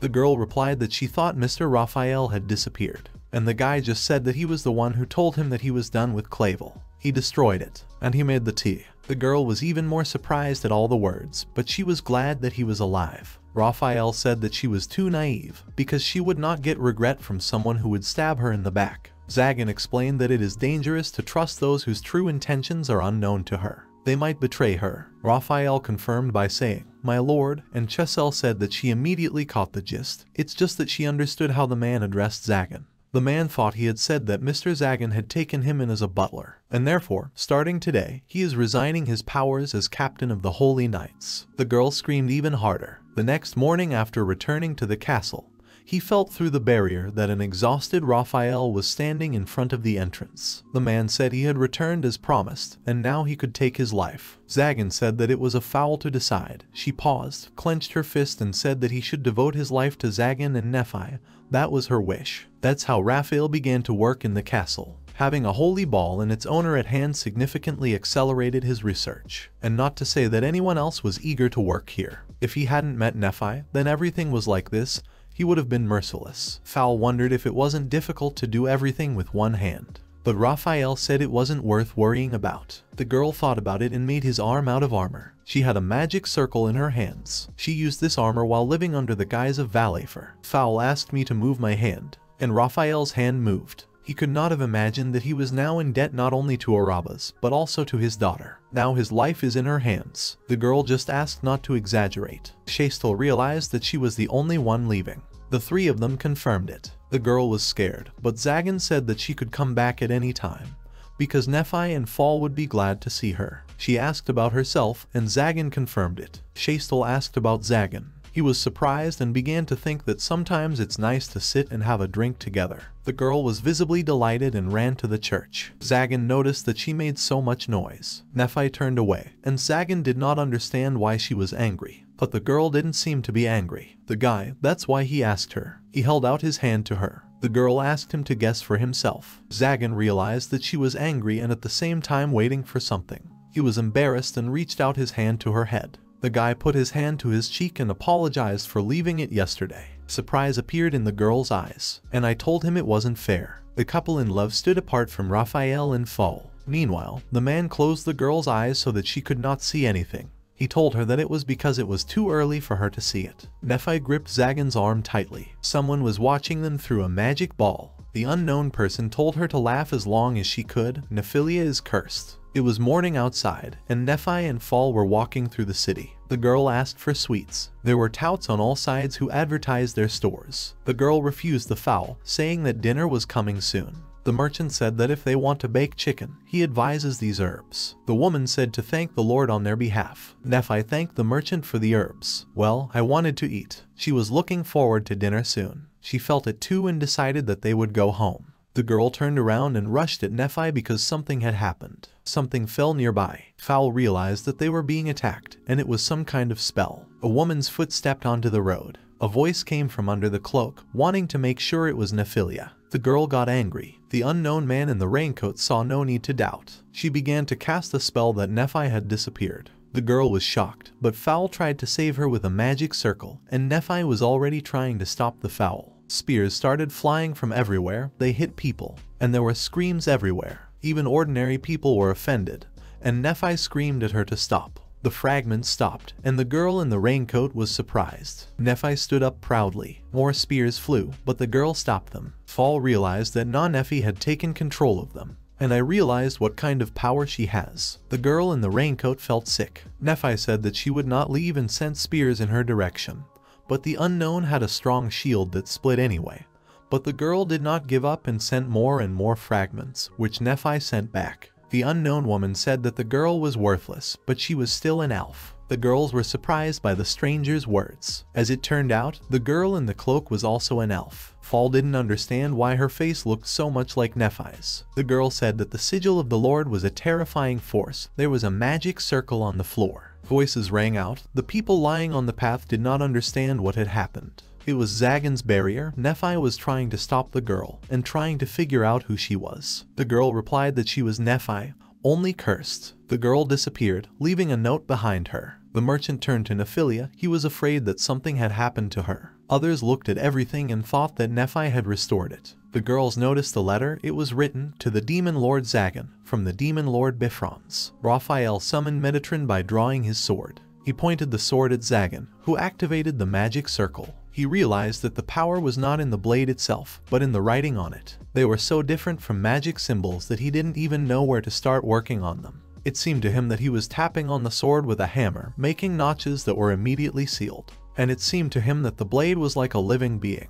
Raphael thought it was close to the truth, and he also realized that Zagan had not yet revealed the secret of the holy swords. The guy replied that thanks to the books left by Marchosias, he knew where these symbols came from. It was a divine language. The symbols coincided with those used by the ancient deities, but with the departure of these creatures from their world, the meaning of these characters was lost, and even the church cannot read them. Raphael said that the sword chooses its owner, and sometimes it seems to show its will. In addition, this manifestation takes shape depending on the owner, such as the flame of Raphael and the flame of Chastel. But if the swords really had their own will, did that mean that their creators were made of living beings? But in this case, there should have been traces of their creators. And if so, it is better to work in this direction than to explore the swords themselves. Zagorodny had two goals, the first to learn how to destroy demons, the second to find a way to destroy the seal of the demon lord. He promised Nephi a quiet life, and the demons and the lords themselves would certainly give them trouble. If he doesn't find a way to destroy the seals, then he won't be able to get rid of their owners either. He thought he could find out why the symbols of the seal and the writing on the blades were so similar, that he can get to the bottom of it, but suddenly Zagan was scared. Raphael didn't understand what had happened.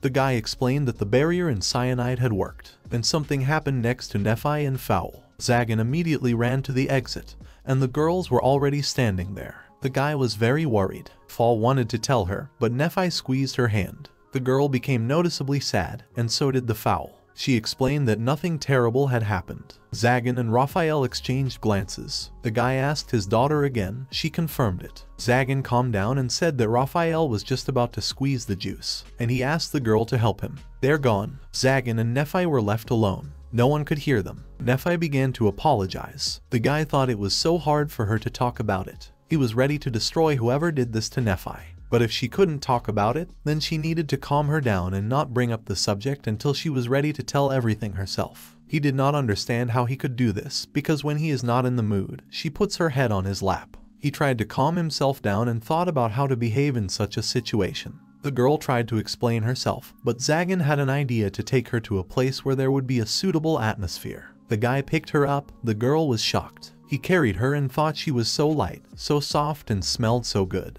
They were both confused. Zagan brought her to the library because it's a cozy and pleasant environment. She couldn't be put on her knees here, so he just sat down at the table with her. She didn't understand what he was doing, and he didn't know either because dinner wasn't coming soon, and he wanted to finish reading something. He realized that he had miscalculated badly somewhere. Nephi remembered the letter, she gave it to Zagan, saying that she had been given something when she was in Kyanit.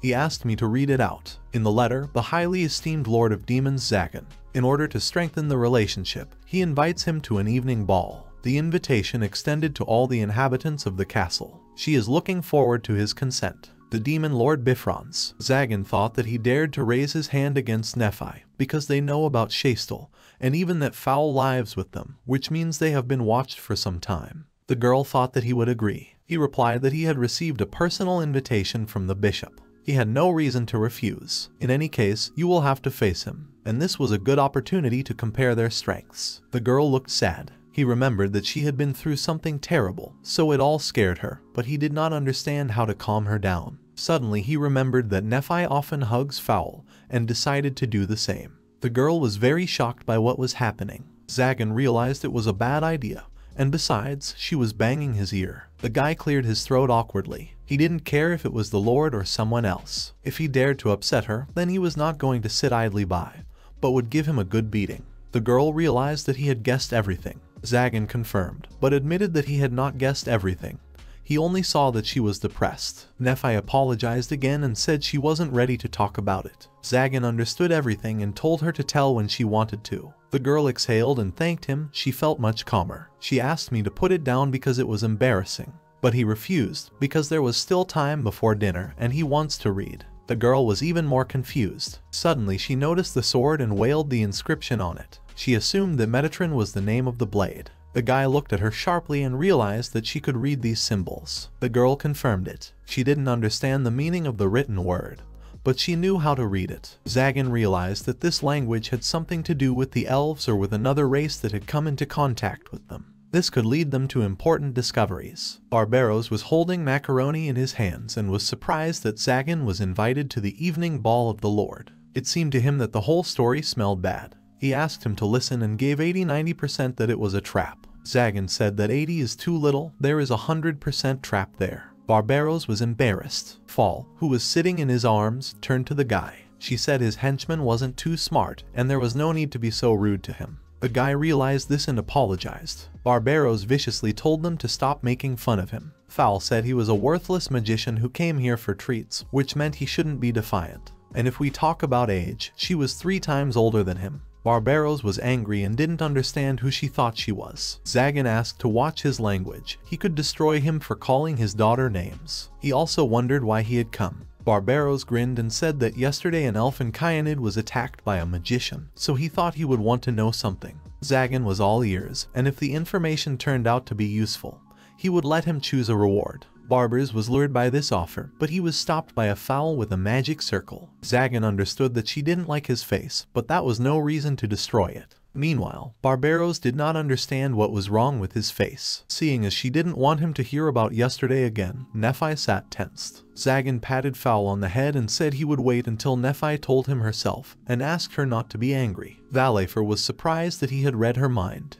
and Zagan apologized to Barbaros because this time he wanted to do without his story. He asked him again, and if he would definitely not regret if he did not take the situation seriously. But Zagan didn't care, Barbaros tried to continue anyway, but then the fowl broke down, saying that his henchman's tongue had loosened and he had to be destroyed. Barbaros swore at the girl, thinking that she did not value human life. After such an altercation, they sat in silence. Zagan was eating pasta and said that today the sweets were tastier than usual. Fall said that Nephi was in a good mood in the morning and did not understand what he had done to her. The girl blushed. She couldn't find a place for herself under the gaze of her master. Zagan thought it was cute because he thought he made a lot of mistakes yesterday.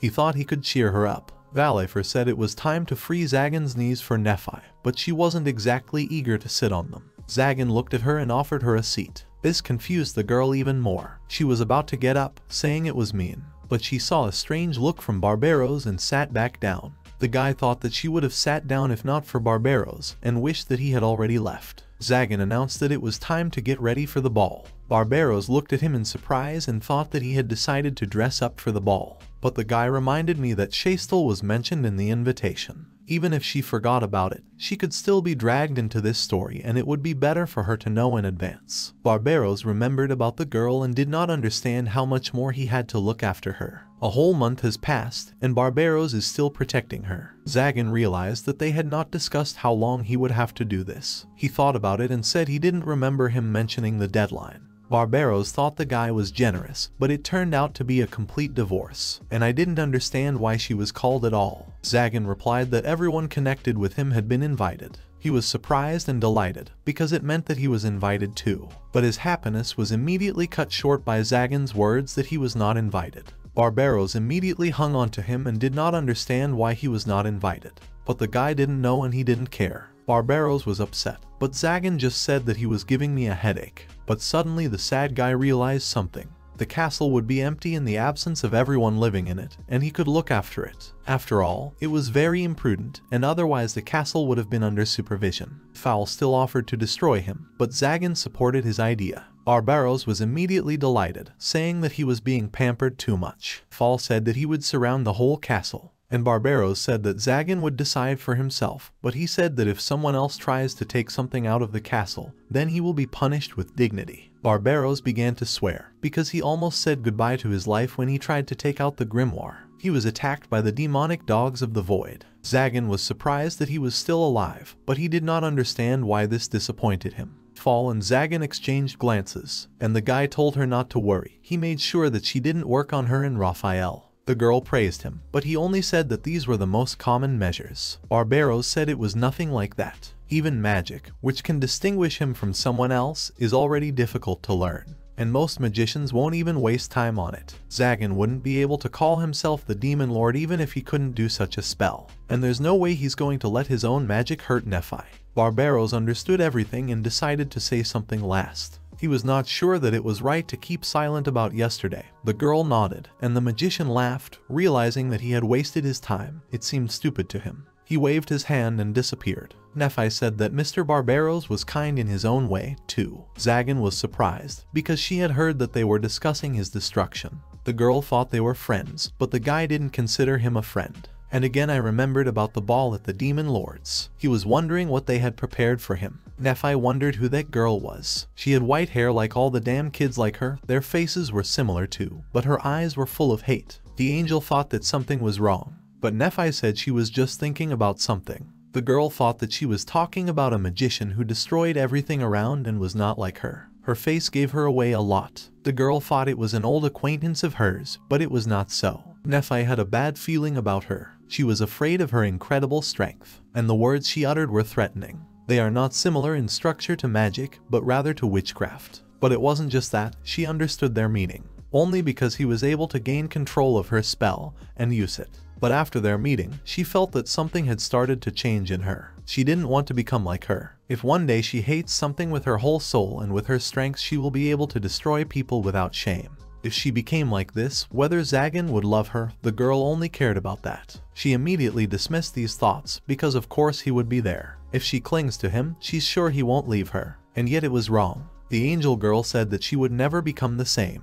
But if something bothers her, then she should definitely come to her, because her sister will cheer her up in the blink of an eye. But if you put other people's problems on their shoulders, then Nephi will hate himself. She is next to Zagan because she wants to be his support but she cannot cling to him like a parasite. The girl was surprised and asked her to listen. After all, it meant not clinging, but relying on another person. Nephi asked again, and the girl gave her an example. If she noticed that Zagan was oppressed by something, as she is now, then what would she do? She said that if that happened, she would try to lighten his burden and support him. That's exactly what the girl had told her. It won't burden her, and she won't hate him. Nephi said the word rely again. In her homeland, she has always been alone, an outcast. She has already forgotten what it means to rely on others. After all, as long as she does not stand still and moves forward with him, she will not be some kind of parasite and will not just cling to him. The girl added that sometimes it's very sad when no one even counts on you. Nephi became serious and thanked Manuela. She also decided that she needed to have a proper conversation with Mr. Zagan.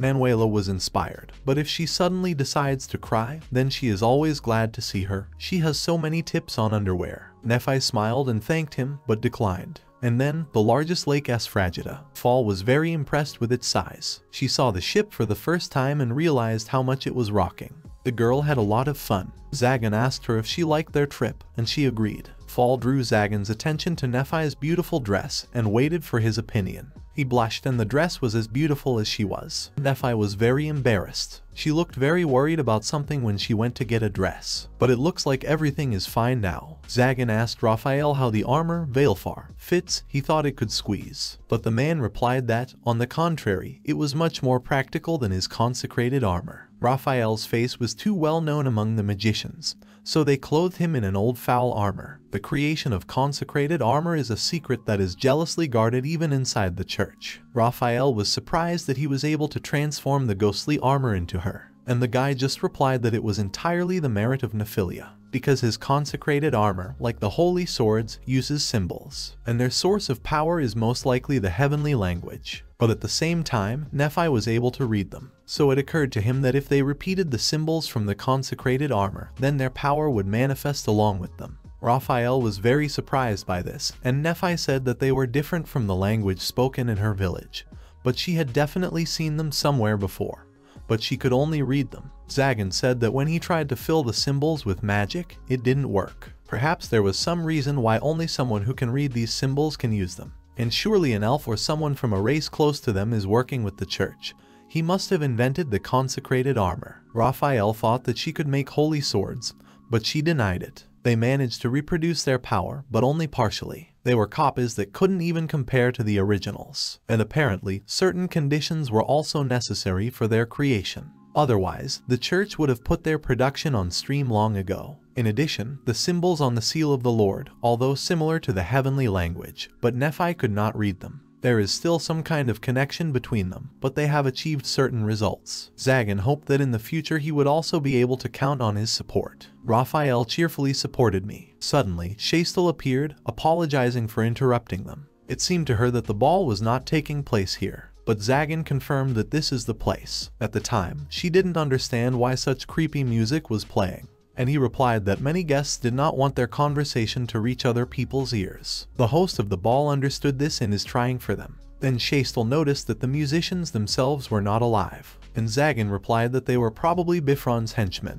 and the siren was invited to the performance, and she had a good voice. The girl was already upset because he had sent her an invitation to the ball, but he did not know what kind of meeting it was, and he replied that it was a trade meeting for magicians. Chastel had already screamed because she didn't understand why he hadn't warned her in advance. It seemed to her that the evening ball should look like a normal party, and she dressed with this in mind. Nephi said that the dress she was wearing really suits Chastel, and the girl in response praised Nephi's dress, but it wasn't about that. Zagan did not want to believe that she had come here unarmed. Chastel said her sword was left in the lobby. She didn't think it would be okay to dance in the armor of a holy knight. Everyone present turned sharply in their direction. The cloaked mages started talking about what she had mentioned about knights. One of them remembered that she was the only woman among the captains of the order. Someone thought that she had been sent to a soiree to the bishop. Someone thought it was an impertinence. Someone suggested destroying it altogether. Chastel began to feel very uncomfortable. Zagan still understood that they were causing a lot of problems, and he told me to follow him.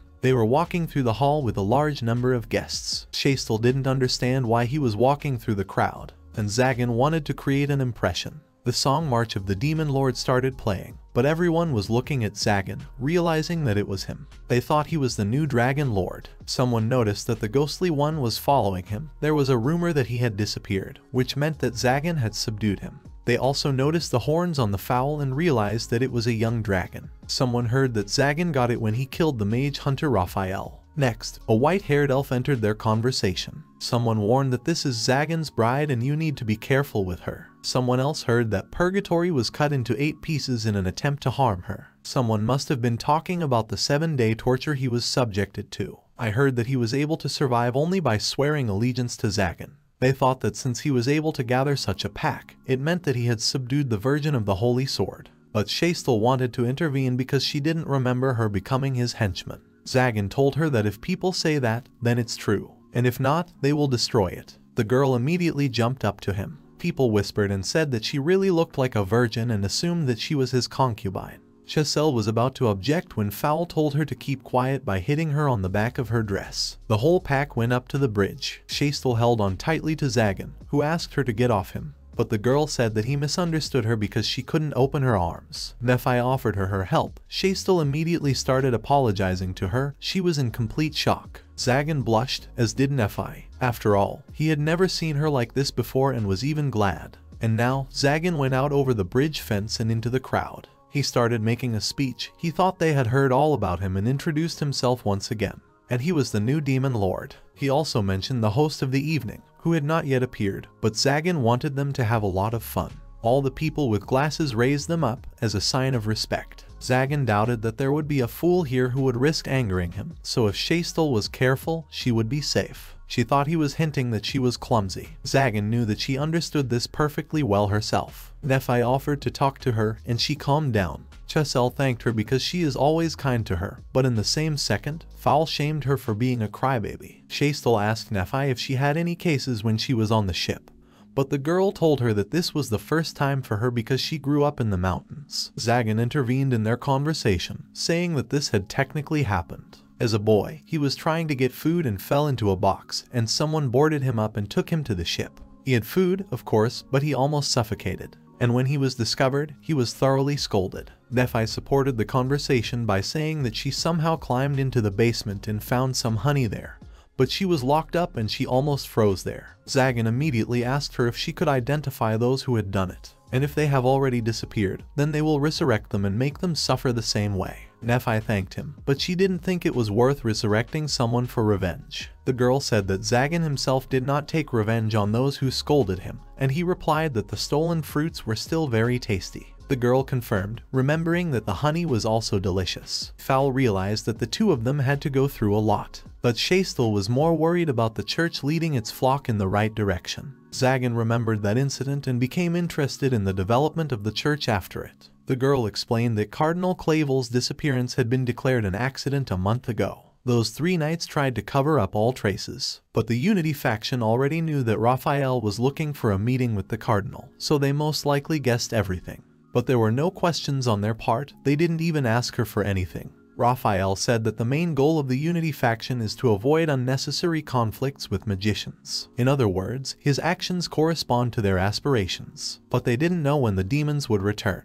They will deal with this when Mr. Zagan becomes even stronger. The guy realized that they were fine with everything as long as she got along with him. Chastel was surprised that he was bothered by this. Zagan replied that if someone was poisoned and destroyed in front of him, even he would be worried. The girl thought he was worried about her, and the guy thought that he had made a mistake with the answer, and he explained that he meant that he did not want her to disappear because he was his friend, but she thought about love. The girl misunderstood him, and now he did not know what to say to him. But he didn't care. He didn't care what was on other people's minds, as long as it didn't bother him and Nephi. And Chastel is not stupid enough not to feel the difference. But he thought she wanted to hide it herself. Then the girl asked Zagan about his specific purpose. She repeated that she wasn't weak enough to be a burden, so she wanted him to be able to trust her. Zagan and Nephi were surprised by her words. After all, he had already saved her more than once, and she wanted to repay him. She didn't care if it was in the form of an alliance or something else, but she wanted to keep this relationship going. He was not sure that he understood what trust was, he had not felt it for a long time. The girl was surprised to think that they completely trusted each other with Nephi and maybe he doesn't realize it himself, but he trusts Nephi and relies on her. Zagan realized that it sounded like the truth. After all, it was thanks to her that he understood what it means to heal someone else's heart. But not only her, didn't he trust Raphael and Fowl, but he doubted that the day would come when he could rely on Chastel. Nephi thought about it and rubbed the collar of her dress. She turned to Zagan, saying that she needed to tell him something. Everyone turned back, there were boxes in the back and knocking was coming out of them. Fall was trying to figure out what was there, and Chastel thought it was a stowaway. Immediately, they remembered a story they had recently told from Zagan, and everyone immediately had lunch to open the drawer, because suddenly a street kid fell in there. Raphael suggested that there might be a dangerous beast there and asked to be allowed to open it. When they opened the box, they were surprised. There was a boy who thought he was going to suffocate. He thanked them very much, because he would never have opened it himself. He decided that now he owes them for the rest of his life. Meanwhile, Zagan wanted to know what Chastel wanted to talk to him about, and she, in turn, said that it was not so important now.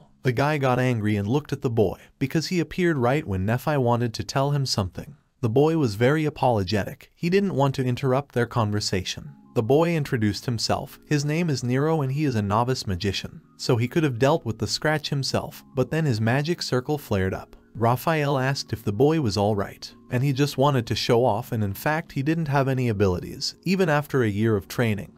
He still couldn't learn magic. His eyes lit up, and on his knees he began to ask the Lord to take him as a disciple. After all, that's why he got on board. The guy stood in amazement. But the boy continued that he understood how very brazen it was on his part, but he continued to ask. He could only ask for it, but Zagan didn't feel even a drop of magic power from him. He understood everything and said that he was not up to the students right now. The boy began to run around him offering his services. The girl looked at the boy who was begging, and someone hovered over her ear, laughing and saying that she had a kind heart. She immediately turned around, and the magician took off, instructing her not to trust magicians. After all, they are all liars. This was the temptress Gamori. She wanted to personally greet the Lord. The guy realized that she was one of the candidates. Zagan thought that she needed something from his daughter, but Gamori replied that she was trying to figure out whether the wonderful butterflies that surrounded the Lord had been stolen or not. The woman realized that it looked like she was worried for nothing. The guy said that if she wanted to take care, then she better take care of Chastel,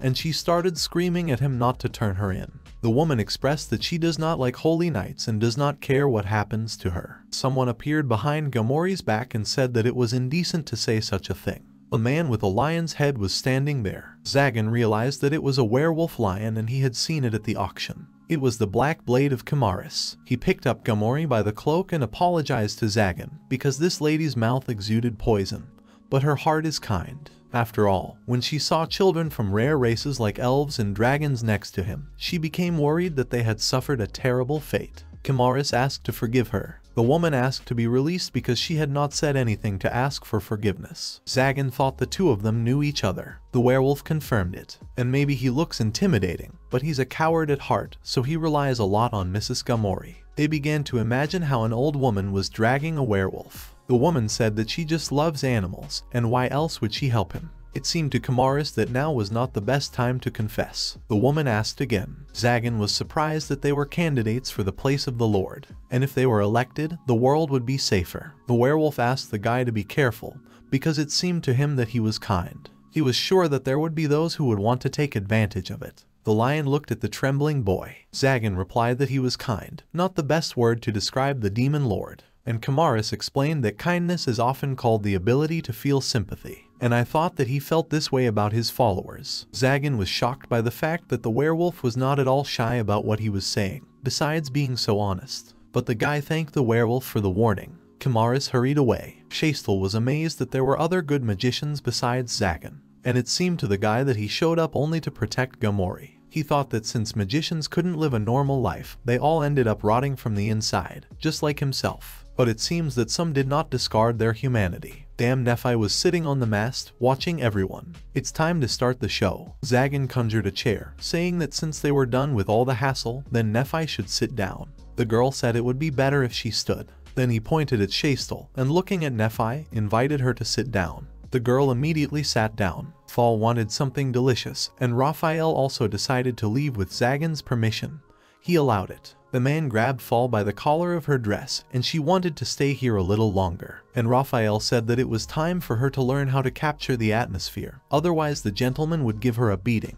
The girl told him that he was the last person she wanted to hear about atmosphere capture from. Zagan blushed, but invited Nephi to sit closer, pointing to his lap. The girl told him that it was a terrible shame to do such a thing here, he understood it too. Nephi said he embarrassed her too often, and he told her that he just sees a new side of her every time. The girl was even more embarrassed, saying that it was not fair. The girl's ear began to tremble, and the guy poked it to stop. The girl screamed, and he immediately began to apologize because he was just interested. Nephi thought he was interested in her ears, and Zagan replied that this was the strongest part of Nephi. She was even more confused, but said that if he liked it, then she didn't mind. Zagan was shocked that he really could. He sat down opposite her and said he was going to touch them. Nephi agreed. The guy took the girl's ear and realized that they were so soft. He couldn't feel the throbbing of the arteries. However, the more nervous she became, the harder her ears became. The girl raised her head, and the guy immediately began to apologize, thinking that he had hurt her. But as it turned out, it was just the first time she was touched for them, and she was embarrassed. And all the people were looking at them and everyone had their own emotions. The guy and the girl immediately jumped away from each other and were silent. Nephi said that next time they would make sure they were alone. Zagan was shocked that he would be able to touch them again, and he realized that she wasn't disgusted. However, he didn't think he could hold back if she did it again. Suddenly, he realized that he hadn't told her that he liked her and needed to keep things in order. Someone came up from behind, surprised by their actions. It was the boy from the box who talked about harmony in their relationship and asked for permission to pour him a drink. But Zagan told him to get out of sight. The boy only wanted to serve Lord Zagan and his companions, and he would certainly be glad if he would take him as an apprentice after seeing all the work. He wouldn't even be scared if Zagan considered him a mere servant. Nephi decided to tell about the case. Zagan also clarified this, recalling that this conversation was interrupted by a boy. Nephi continued that she had recently been attacked by a girl in Kyanida. She didn't know if she obeyed the demon lord or not, but it was clearly not an easy magician. Without finishing, the fog appeared on the ship. The girl did not understand what was happening, because she did not even see anything. The girl couldn't make a sound. She also couldn't move. The fog began to clear, and the boy ran up to her. He thought something had happened to her. Nephi saw that he could move and realized that only she was being held back. And if it had been a simple spell, then Zagan's magic would have consumed him. The boy did not understand what was going on, but he would do everything to protect Mistress Nephi. The girl realized that this was a power that even he could not absorb, something like witchcraft. She understood whose handiwork it was. Zagan was worried about the girl, and she was glad that he was safe. But there was another Nephi in front of him who didn't understand what had happened. Nero and Nephi were shocked that there were now two Nephi. The boy did not understand how this was possible, and he could not break through. He realized that they couldn't see or hear them. Another said that she was surrounded by some kind of fog and was very scared. Nephi realized who it was. She repeated everything after her and even snuggled up to the couch like her. The guy pushed the girl away, telling her to stand behind and it looked like they were attacked. The boy realized that he considered that Nephi to be real and it so happened that a copy was next to him. The real one started shouting towards Zagan that it wasn't her and she wanted him to understand it, but she couldn't even lift a finger. Meanwhile, the other one said that she was cold and scared. She asked for a hug, and the real Nephi didn't want to see it. Zagan grabbed the other by the cheeks and realized that she was not his girlfriend, because for someone he saw for the first time, she was too close to him. The girl began to turn into herself and did not understand how he understood. Zagan didn't understand what she was talking about, but it dawned on him that she was trying to impersonate Nephi. He began to say that the girl did not even try to pretend to be her, because they were similar only in appearance and of course, he was able to distinguish them. She realized that he had figured her out. Zagan noticed something and swung to strike, saying that they would stop hiding. He smashed the dome covering both of them, and both prisoners were happy and surprised at the same time. The boy tried to explain that he was trying to protect Mistress Nephi, but the guy thought he was still trying to deceive him. The boy screamed and an explosion occurred. The ship began to sink. Zagan hugged Nephi while standing on the sinking ship. The guy apologized to her, thinking that he had scared her. But the girl started crying because he was able to recognize her. Zagan thought she was just glad she was finally safe. Someone started laughing, because he was merciless as always, and he was confident in his acting. Suddenly, the ship returned to normal, and the unknown did not understand at what point he understood. Zagan replied sarcastically that he really thought that some boy without magic would be able to get to the Lord's ball, which is well guarded. The unknown realized that there was a smoke in his legend, because he really made a mistake with her. The unknown decided to introduce himself. He was the lord of the Bifron's demons, and on this wonderful evening, he welcomes them aboard his ship.